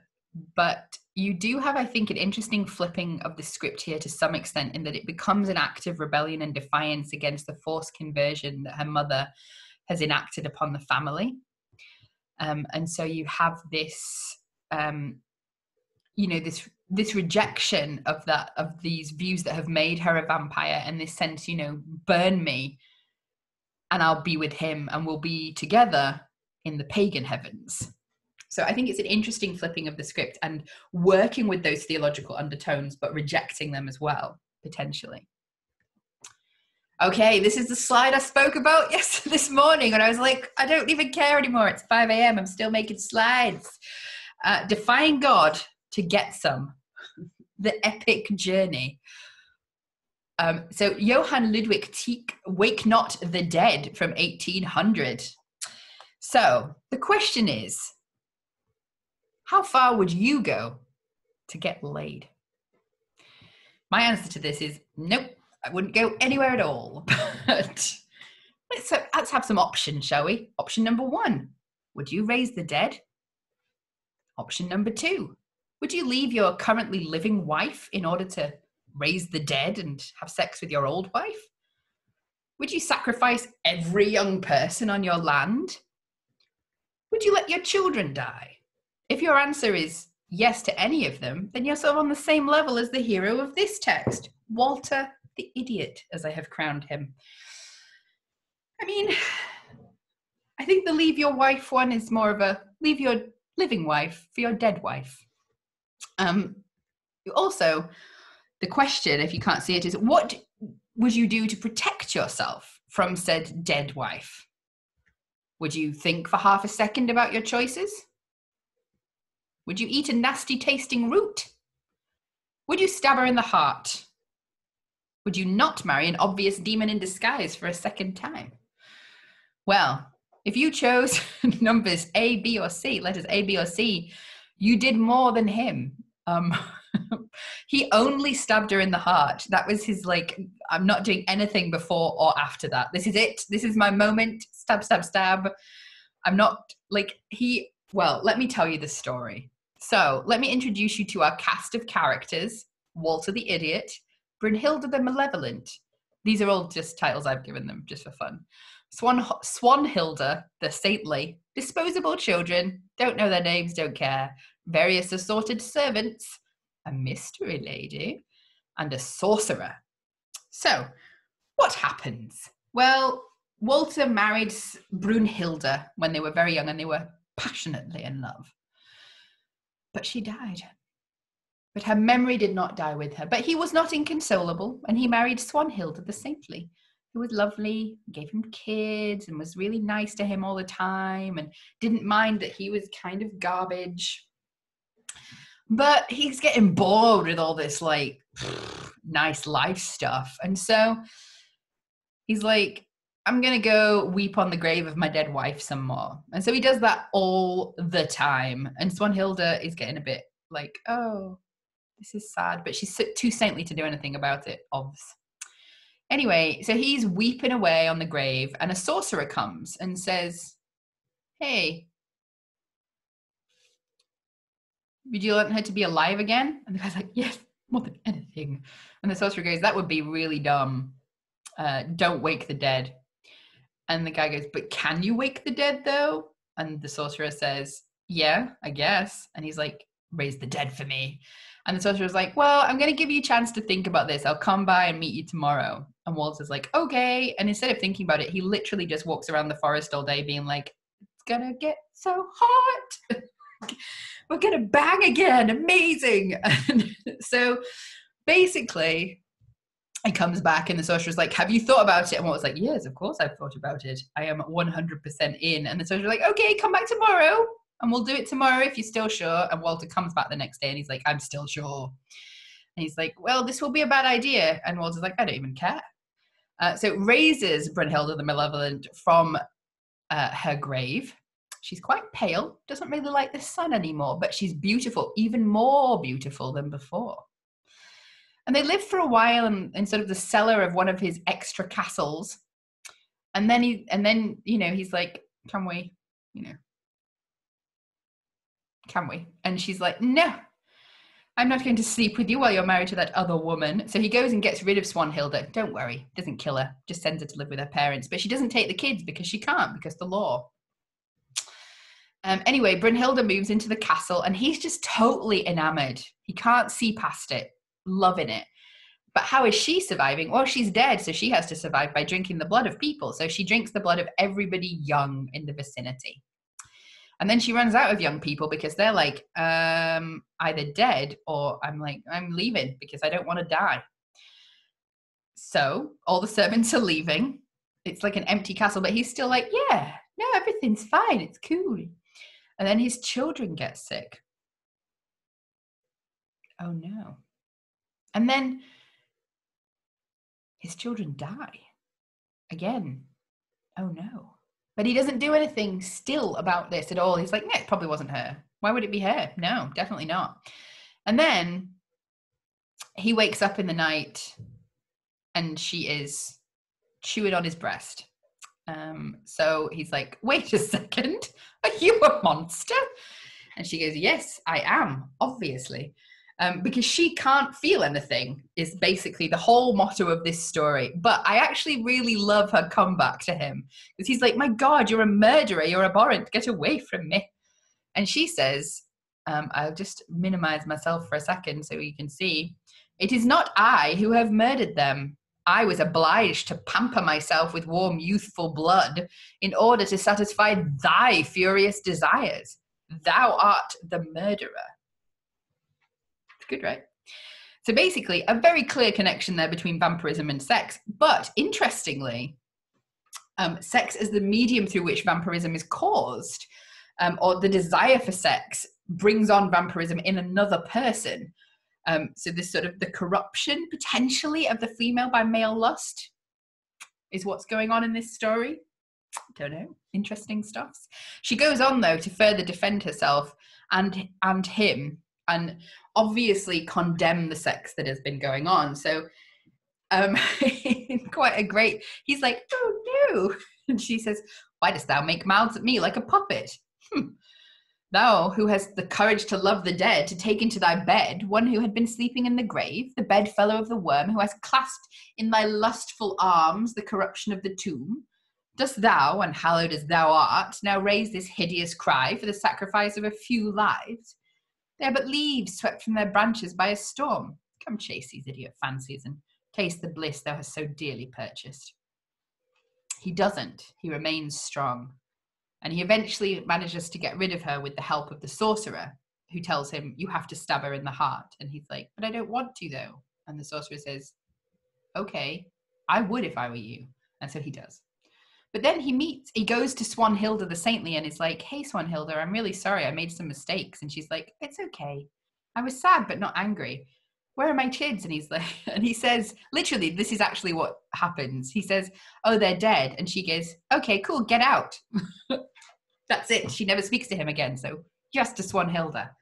Um, but uh, at the end of the story, what happens is he meets another woman who looks strangely like Swanhilda and is like, mm, this is great for me. This works out perfectly. Um, and then they get married and they have the sex, or they're about to. And then she turns into a giant snake lady and eats him. End of story. So there you go. Um, quite a wild ride. I thought I'd retell it because I didn't think many people would have read it. I don't know if I was wrong in that assumption. Uh, definitely a great and interesting story. Um, very clear links between sexuality and the vampire. Um, and also this sense of immortal damnation and the loss of the soul as well i think is really interesting in this one that the, the body is raised but there's no soul left within it. So there we go with these sort of perhaps less famous iterations of the sexy vampire or the sexed up vampire.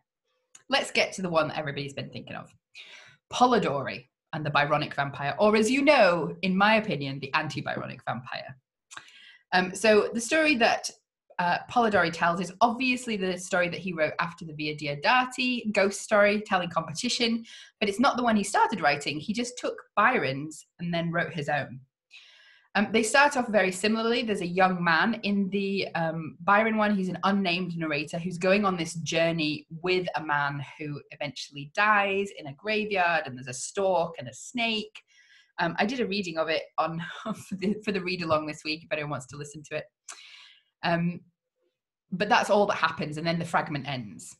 He has to be buried at a certain time, and a ring has to be thrown into the, the water at a certain day on a certain time on a certain day at a certain time. Um, and then the polidori version extends the story but there are some key differences which i'm going to go over in a minute. But there's a young man named aubrey who travels with the lord ruthven vampiric figure. But instead of this sort of quite nice travel journey it's it's um, he finds out the depths of iniquity in lord ruthven basically. Um, uh, he leaves Lord Ruthven at one point, uh, ends up meeting this Greek nymph who he falls in love with. Um, and then, oh, she's killed by a vampire. And it just so happens that Lord Ruthven turns up the very next day. What a coinkydink. Um, uh, but Lord Ruthven nurses him back to health and then they continue their journeys. Lord Ruthven dies, exacts from Polidori a promise that he won't tell anybody that he died. And um, then, when not from Polidori, from Aubrey, although Aubrey is very clearly Polidori in this story. Um, and then when Aubrey returns to London, he sees Lord Ruthven again. It drives him in, it drives him mad. He's locked in his room. And at the end of the year, he's like, finally, I'm going to be able to tell people. And then he realizes his sister is marrying Lord Ruthven the very day, and she's going to die. Sorry. So, um, in both cases, there's an aristocratic male vampire um, there's an emphasis in the second one definitely on seduction, um, but the the characterization is fairly similar on a surface level for both of them. They're both quite clearly Byronic in some sense, but in uh, Byron's tale, Augustus Darvel, he, it's a, a Byronic anti-hero. In Polidori's tale, it's a copy of Byron, the real Byron, much more so, and it's quite condemnatory. So um, was he a sycophant or a critic in writing the story? You know my opinion. Um, Gelder suggests that it's usually claimed that Polidori under Byron's influence slavishly plagiarized Byron's fragment, but we could also argue that he uses the material creatively or ironically rather than slavishly. And I think that's very clearly true, that he engages with the material to take Byron down, basically. So let me draw your attention to a couple of the differences between the two narratives, which provide a very different conception of the vampire. Whereas the vampire in Augustus Darvel is arguably um, quite clearly a Byronic anti hero, a relatively positive conception of the vampire, and much more linked to the creation of a Byronic anti hero than to the previous folkloric accounts. In The Vampire by Aubrey, although the folklore is quite different than we're used to, he's actually very clearly engaging with those theological and ideological roots of the vampire as this sort of condemned, um, embodied immortality. So in The Vampire, Aubrey is virtuous, naive, and steadfast.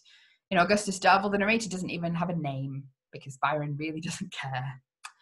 Um, in the Augustus Darvel, there's no certainty that there's been any deception or condemnation, and there's no condemnation of the character at the point in the story that we're left at. Whereas in The Vampire, very quickly, Aubrey is undeceived as to Ruff- Ruthven's character and his iniquity. Ruthven's superiority is not only questioned but destroyed in The Vampire, arguably. He's more knowledgeable, he's more worldly, but he's 100% evil. Um, in Augustus Darvel, Darvel's superiority or difference is actually confirmed. Is very clearly he's Byronic. He's Byroning around. He's like he's remarkable, and nobody can not remark how remarkable he is. in The Vampire, Ruthven is licentious and abandoned. He loves seducing innocents and he loves um, corrupting people. In Augustus Darvel, Darvel is temperate and controlled. Again, somebody asked about that kind of idea of the tortured vampire, and I think you're seeing the traces of it beginning here, in my opinion. Um, in the vampire, Ruthven is seemingly just emotionless. He just goes through his life being a horror and smirking about it. Whereas in Augustus Darvel, Darvel is clearly he's we're told he's under some sort of romantic burden, some tormented historical past mystery. Very Byron. So, what's going on in the vampire with this sort of idea of sexuality, but m- more generally, this idea of um, maybe the underlying motifs of the theology or the um, ideology of the text? well, we've still got the vampire here as participating in what I've termed before heretical infection. So in the in the vampire, Ruthven corrupts everyone. His evil is infectious. Um, so there's a couple of examples. He will not bother seducing or sleeping with women of easy virtue, um, but he will seduce the matrons with children, and he will seduce the innocent with no history so he's always corrupting people. Um, there's also examples with he gambles and he won't he won't he's happy to lose to a hardened gambler but if he's playing with like a, a naive young man with a young family he will take him for everything he's got quite often leading to suicide etc um, there's also the sense that his charity is a deliberate encouragement to vice of the worst people in society. He never helps the indigent virtuous, we're told, um, which is problematic in itself. But as a characterization tool, he's all about helping vice. Um, there's an interesting theological aspect here, and I've not seen many people take into account the fact that Polidori was Catholic. And there's um there's a slightly interesting flip on the um, the theology of the immortal wanderer. So the idea of his his is Ruthven's damnation inescapable or is it simply unescaped? So in a lot of these immortal vampire, immortal wanderer stories and vampire stories, as we've seen with some of the examples just now, there's a sense in which death can be an exit. Um, and it can be a salvific moment, allowing the, the soul to be free. But here, excuse me, death offers no exit it's it's a continual resurgence of life so it's death life death life and it offers no exit and it appears therefore to to produce quite a pessimistic narrative um, and a pessimistic narrative arguably of like calvinist double election where it's just you know doomed to be damned. But i don't think so and i think that's where we have to take um polidori's sort of catholic background into um consideration. Because ruthven's evil is a willed evil. There's only one thing that he has to do, which is drink the blood of a virgin every year to survive. Everything else is a choice that he makes, um, an indulgence in this evil. So there's this emphasis on it being a willed evil. It's a victory of the flesh. Um, it's a victory of that sort of sinful self, that evil self, but it's also a willing rendition to the flesh. And this idea of the Catholic theology of um, our own activity in the work of our salvation or working out our salvation or not doing so. Um, this idea of a triumph of the flesh isn't just in Ruthven, but all through the text. I've put there on one side, A, an incredibly attractive picture of a vampire, but at the top, I've put um, the list of the sins of the flesh. So it's not just sex. People quite often talk about the sex issue in Polidori, but it's much bigger than that, you know? um, adultery, fornication, uncleanness, lasciviousness, idolatry, witchcraft, hatred, variance, emulations, wrath, strife, seditions, heresies, envyings, murders, drunkenness, revelings, and such like. Um, but to quote myself again, Ruthven is the flesh made manifest, and Aubrey's willed subordination to his will suggests both Aubrey's culpability in his own state and his entrapment in the triumph of the flesh. So Aubrey makes the promise to Ruthven, and because of the promise that he chose to make, he is unable to stop Ruthven and essentially becomes complicit with the death of his sister. It's only when Aubrey's suffering infected flesh dies that the vampiric curse's power over him is undone, and his natural death sets him free. The flesh, the world, and the devil, however, live on. So um, there's this sense of a vampiric infection occurring in this Byronic tale, but it's not by blood, it's not through the consumption of the victim, it's not through a plague. It is very specifically a moral infection. And we definitely get with these vampiric narratives this idea of a moral infection, particularly when we're thinking about queer representations of the vampire. And I'm going to use two examples John Stagg's The Vampire and uh, Samuel Taylor Coleridge's uh, Christabel. So, a queer theology of the vampire is all about this conception of an infectious soul death. As we're moving on into the 19th century, it becomes much more prevalent this conception talking about the blood drinking as a perverted Eucharist. But this idea of the vampiric act of blood drinking being a reversal of the Eucharist, which gives life and salvation, and being instead an imbibing of damnation. So um, th- these are the biblical verses about what the, the Eucharist is. Um, specifically within um, Catholic theology, of course, is the idea of transubstantiation. You're actually drinking the blood and bread and eating um, the flesh. So that he, he that eateth my flesh and drinketh my blood hath eternal life, and I will raise him up at the last day. The opposite of true of the vampire. Um, he that eateth my flesh and drinketh my blood hath eternal death, and I will raise him up right now. Um, you also have this um, other sort of biblical injunction. This the vampiric drinking is the fulfillment of this. He that eateth and drinketh unworthily of the blood of Christ eateth and drinketh damnation unto himself. And so by participating in this perverted Eucharist, you drink damnation unto yourself. Um, and it's an infectious corruption that goes on. The heretical infection that Christopher Herbert talks about looks back to Old Testament infection laws things like for example just by sort of being in the vicinity of a menstruating woman you were suddenly corrupted and contaminated. Um, but this idea of infectious corruption.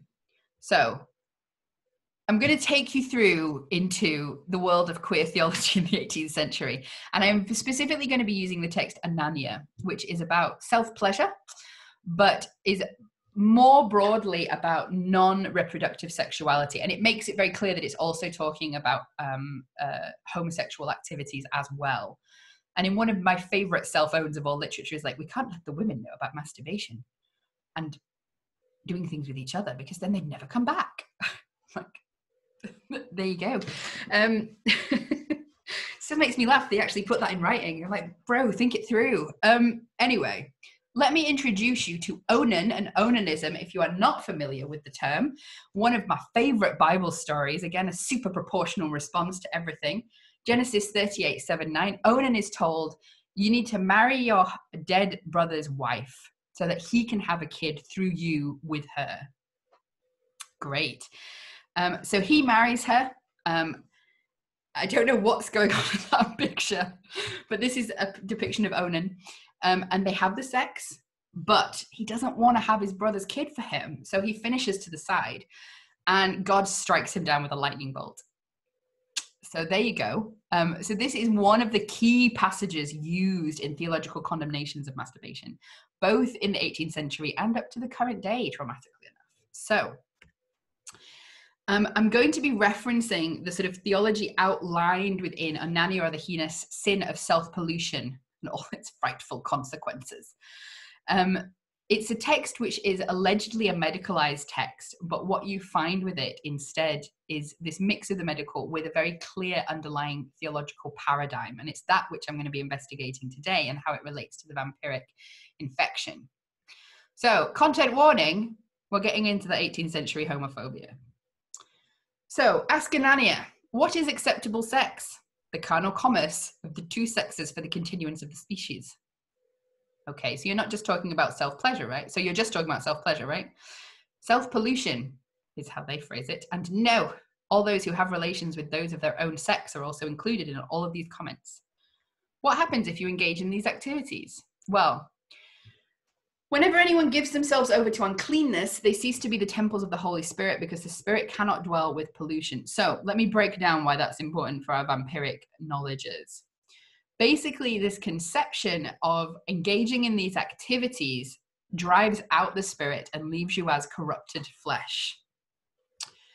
what actually happens to you though is a, an array of exciting different symptoms weak calves my favorite slack jaw staring eyes general weakness uh, roy porter goes into it in slightly more uh, summarized depth constitutional decline physical weakness and of course ultimately in some cases even death there's a really interesting and very close mirroring of a lot of the symptoms associated with non-reproductive sexual activity and vampiric uh, weaknesses, as you can see from the Roy Porter quote there. Um, so it's just you, right? Like this will just affect you. No. The refusal to engage in reproductive sex reverses the natural order and able to propagate naturally. The queer subject is given up to uncleanness, dishonor their own bodies between themselves, spreading a moral and spiritual infection. So, this conception, you're not engaging in reproductive sex. So, what you're doing instead of propagating life is propagating death uh, propagating corruption. Shocking stuff, but at least we get to say ourselves, right? Right? No, the pollution is not only against nature, but is a sin that perverts and extinguishes nature. So, engaging with non reproductive sexual activity or non sanctioned sexual activity um, basically turns you into something other. So, transgressive sex leads to a physical decline and wasting, leads to pollution of the flesh, the spirit and the soul abandoning the flesh, a spreading moral infection, and the perversion of one's fundamental nature. I'm hoping that you can see quite clearly how this maps onto discourses um, of the vampiric. And we certainly find um, a number of examples of queer coded um, vampire poetry in the period. Um, but this vampire poetry, I wouldn't say is an exploration of transgression so much as it is a recapitulation uh, of this specific concept, uh, theology of the queer that we're finding uh, outlaid quite neatly for us in Onania. So, what poems am I talking about? Christabel, for a start. If you don't know the story of Christabel, Christabel's out in the woods, meets Geraldine, who appears to be a lady in distress, but gets her into the house. She strips off, and there's a terrible wound, and she has some sort of hypnotic power over her. But there's certainly this sense of very clear queer undertones in the text. And there's an interesting conception of it's not a question just of innocence corrupted by um, evil or wrongness, it, there's a sense um, in this text of the inherent fallibility um, and also this sense of a condemnation or corruption which is unwilled either by the subject or the object by the person creating that um, passing on that corruption or the person be having it passed on to them so um, why am i saying it's not just about innocence versus evil because there's a willed submission here that's emphasized where um, Christabel is bringing Geraldine in from the forest. Geraldine's like, oh no, it's weak. And the lady sank belike through pain, and Christabel with might and main lifted her up a weary weight over the threshold of the gate. So throws her into the castle, basically, is how I imagine it. Um, but you have this willed engagement here with this potential corruption. There's a transgressive passion that you have here, lightly outlined, while um, Geraldine is undressing, Christabel is laying there in the bed, vain her lids to close, so halfway from the bed she rose, and on her elbow did recline to look at the Lady Geraldine, or Geraldine, as I would say it. Um, so there's obviously this queer coding going on. There's also this conception of a shared damnation. So Geraldine lies down next to her. Suddenly, as one defied, collects herself in scorn and pride, and lay down by the maiden's side, and in her arms the maid she took. Ah, well a day and with low voice and doleful look these words did say so you quite off, quite obviously have this queer coding this embrace etc but you also have this sense of reluctance the reluctance to pass on a form of condemnation um, and, but it is an infectious transgression so in the touch of this bosom there worketh a spell which is lord of thy utterance christabel um, which is obviously uh, within the context of the poem is about the fact that Christabel can't tell anybody that she's seen this wound in Geraldine's side, but um, a queer coded reading of that is incredibly easy. So I will leave that up to you. The second poem, with which people might be less familiar, although I did do a read along video, so feel free to look it out, look it up, um, or just read it for yourself as well. um, is The Vampire by John Stagg from 1810, one of my favorite poems. Um, and again, one I would say is very queer coded. Um, so he's laying around being like, oh no, I'm dying.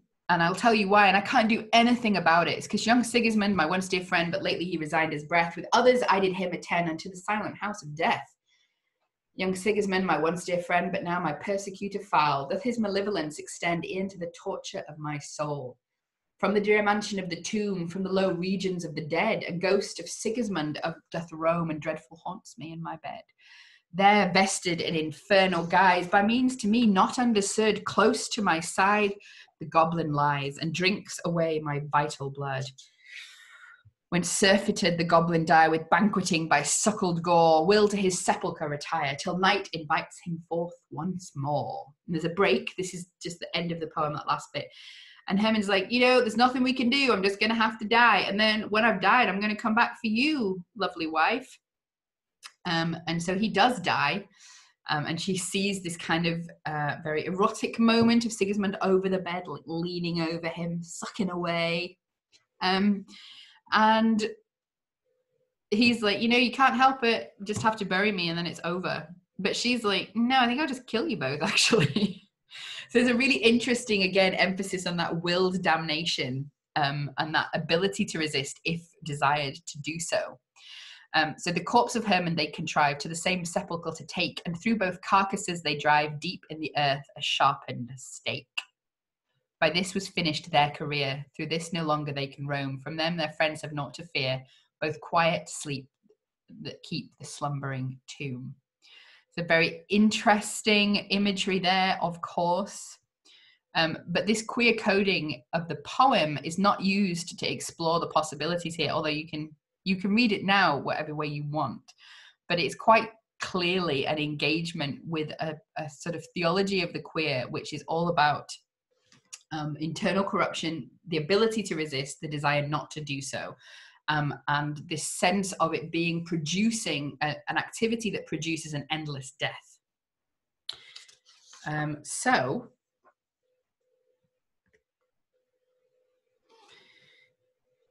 that was the last verse again, but I've got it with a fun picture this time. um, vampiric figures prof- proliferates across later Gothic texts, evolving and gaining a palimpsest of overwritten meanings as it does so. Um, so basically, you know, vampires are inspired by previous vampires, inspired by previous vampires, leaving behind many of the earlier meanings, though keeping perhaps some of their markers, some of the tropes associated with them. Um, what I'm talking about when I'm talking about vampires is this specific moment um, and how the queer is represented then, not later. So, at this particular moment in the early 19th century, the theological residence of the vampire remains clear.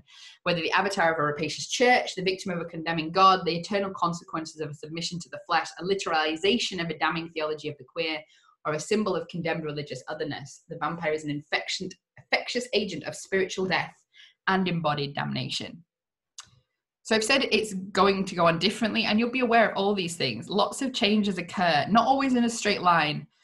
Um, the vampire is far from status, static, static. I think you'll find um, it goes obviously from villain to anti-hero to hero, often now from homophobic very clearly to fluid in terms of both gender and sexuality, often now from condemning to prurient, arguably in something like Carmilla, to affirming, literal to figurative monster, and back again. A fearful other to a superhuman self. That's the Joseph Crawford theory um, about the progression of the vampire's romantic hero. An anti Semitic figure, very clearly, to something that now isn't necessarily tied to a specific religion or ethnicity. From a creature created by theological per- perversion, um, we talked about this on Thursday, to one defeated by theological weapons in something like Dracula, to one understood through a medicalized discourse and disassociated from theology. And the vampire, however, I would argue, always sits on that boundary between fear and desire, teetering on the line of transgression. So, um, ask what you please, and I will tell you everything. But my story is simply one of bewilderment and darkness. it's a quote from Carmilla for you there, and a picture from Carmilla as well, eating a biscuit which is what I wish I was doing right now. Um, so, any questions? So, oh crap, I went over. Sorry, guys. I thought I was doing so well for time today. It's because I didn't write such a short last section. Fail. But uh, feel free to ask any questions if you have any, of course. Um, I will be very willing to answer them. A ver, a ver. One of my favorite sessions. Ah, thank you. That's my Ko-fi, if anyone wants it. Oh, also, um, this is super cheeky, but I'm going to put up my Amazon wish list on my on my Twitter page in case there's some like 99p options on it. So if you don't want to give me any money, you can, and you don't want to get me a book, that's also fine. But if you do, 99p options. There's also like 50 pound options, but like those are not something I'm ever actually going to own. I just like to look at them occasionally. like one day I'll steal that from a library. Not really. Um, when do vampires become so prevalent in pop culture? I mean, arguably, probably with Varney. I don't know if anyone has a feel about that, but like Varney the vampire in the 1840s, um, early part of the 19th century, was an incredibly popular, long running serial. Um, another sort of in the 20th century popularization of the vampire again and turned into the romantic figure was uh, Dark Shadows, Barnabas Collins on American TV. Um, Dracula obviously took off in terms of inspiring a whole series of films and um, productions. I think like you see different versions of the vampire becoming popular again at different times. Um, and in response to particular um, inspiration. So, like the vampire of the Hammer horror movies never really disappeared, um, like less prolific, less popular. But then, like the Barnabas Collins re kind of refocused how the vampire was being portrayed. Um, and then obviously you've got another kind of watershed moment with the popularity of Twilight, and so you keep having these things that restart the trend in a slightly different direction, maybe. Um, could you please elaborate a bit more about the perverted Eucharist in comparison of Christ's blood with vampire blood? Sorry if the question isn't clear. No, I, I mean I think that's I, it's a really interesting question, and there's quite a lot of work on it. One of the things I didn't talk about today, but I absolutely love Christopher Herbert's uh, um, essay on vampire religion. I think there's this connection to religious othering, and there's um, this also this sense that the vampire can be used to target specific religious groups and beliefs. Um, and I think to some extent you see that in the blood drinking. Um, the Christopher Herbert article talks about the way in which it lampoons uh, Methodist hymns, which kind of over egg the blood thing from the 18th century. Like, I'm going to, you know, drown in a pool of God's blood, that kind of thing. And I'm going to bathe myself in the blood of Jesus. Um, I don't know why I did this, but quite like sensualized blood blood songs. So there's a sense of I think an engagement that's quite negative potentially with this blood drinking. Um, but I also think there's like the quite clear sexual element, which is not associated necessarily with the theology of the Eucharist, which makes the blood so uh, prominent, but then becomes easily readable as a perverted Eucharist. Um, and but I think it's interesting, particularly when you think about how often it's Catholics that can defeat vampires. That it's also um, a Catholic, a sort of perversion of the Catholic. So yeah. Um, I'm watching Buffy again, consider we're watching Drag Me too. Did a big Buffy and Angel watch. There's a woman in the news recently. Uh, yes, I saw that lady in the news with the Jesus blood coronavirus. It's the hymn's fault. Like some of those hymns are really just not good. Come on. like some of them are really very, very explicit about like splish sploshing in the fountain of Jesus's blood. I'm like, that's not even good theology, guys. Come on. Um you know, this the little I was glad that I got to do this today because I was meant to be going to the reimagining the Gothic Sheffield conference and my paper was entitled Gothic Wanking. the vampire. Yes. Well, it was originally entitled, I think, Onanism and something something the vampire. Um, but my panel was going to be called Gothic Wanking. It was going to be amazing. But sadly no. Oh, thank you for posting the vampire religion. I think it's really interesting. Um, have you got any thoughts on vampires and class? Yes, I do. I think um, I totally disagree with Nick Groom and Eric Butler on how they read Polidori, that's for sure. Um, I don't think you can view him as a, an avatar of the middle class. Um, Ruthven, I think you can very clearly view him as an avatar of the aristocratic class. And I think that you um, very frequently get that with these early vampires, that they're basically a sort of uh, a meta, like a literalization of that metaphor of the blood sucking tendencies of the upper classes. Um, obviously like it gets more and more complicated as you build on the myth you know and you have that return to the folkloric roots where it's quite often peasants that are coming back. So you i think you it depends on you know what text you're reading. I think the idea of the vampire as an upper class is still really quite prevalent. Um, some ways in a view in, in sometimes in a way that makes that upper class monstrous and sometimes in a way which is quite sycophantic and gross. Um, yeah i would be what i would say just off the top of my head. Um, yeah yeah totally like vampire vampire marxism again i think like i keep recommending um, horror vanguard to people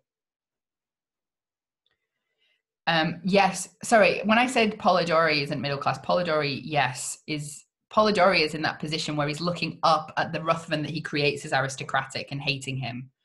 Um, I don't think like I, I think Polidori is, is is from that position of like looking up and wanting to be in that upper class, but also despising it to a certain extent. And certainly that kind of aristocratic Byronism, which is so heedless and destructive.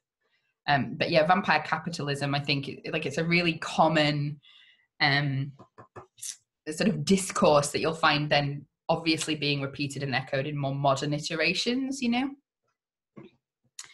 Um, ah, thanks for that, Frank. Um, I've spoken of this before on Twitter, perhaps, but our Brazilian vice president turned president by a coup was figured in a carnival parade as a literal vampire. Yep. They're a very useful symbol of many things um, I think, yeah, like I didn't really cover it because it's not my area of expertise, um, but there's quite clearly a, a, long history of the vampire and anti Semitism. Um, there's obviously like the, the one that's really famous is Dracula and that kind of anti Semitic coding of his appearance potentially. But you're getting like the use of vampiric language to, dis- to discuss Jewish moneylenders in the 18th century and you're also getting just a, a, lot of overlap between kind of vampiric figures and Jews more generally. So it's quite like a it's a it's a trope that was used anti-Semitically quite frequently, unfortunately. Which is why it's good that we've moved away from that. One hopes. I'm sure there's probably still some propaganda somewhere that uses vampiric imagery. Yes. Um, any other questions, I guess? Is that a yes, Mason? Or is that just a wave? oh, just a wave. Um, I get confused when people put their hands like up, you know. Um, anyway, if if there aren't any other questions, I will leave. um, do remember to fill in the form if you want any more classes. I'm going to be doing dreams, lots and lots of dreams, and um, I'm going to be doing an introduction to the Gothic y una versión también en español, si hay alguien que habla español aquí, and um, also something about the Gothic romance and Georgette Heyer. So if anyone's a Heyer fan or if anyone wants to talk about Gothic romance and rethinking it, there we go. Cool. Well, thank you very much for coming, everybody. And I will see you again in a couple weeks. I'm definitely I'm having next week off except for the book group and the film, um, because I need some sleep. Um, but see you in a couple of weeks, maybe. cool. See you later. Bye.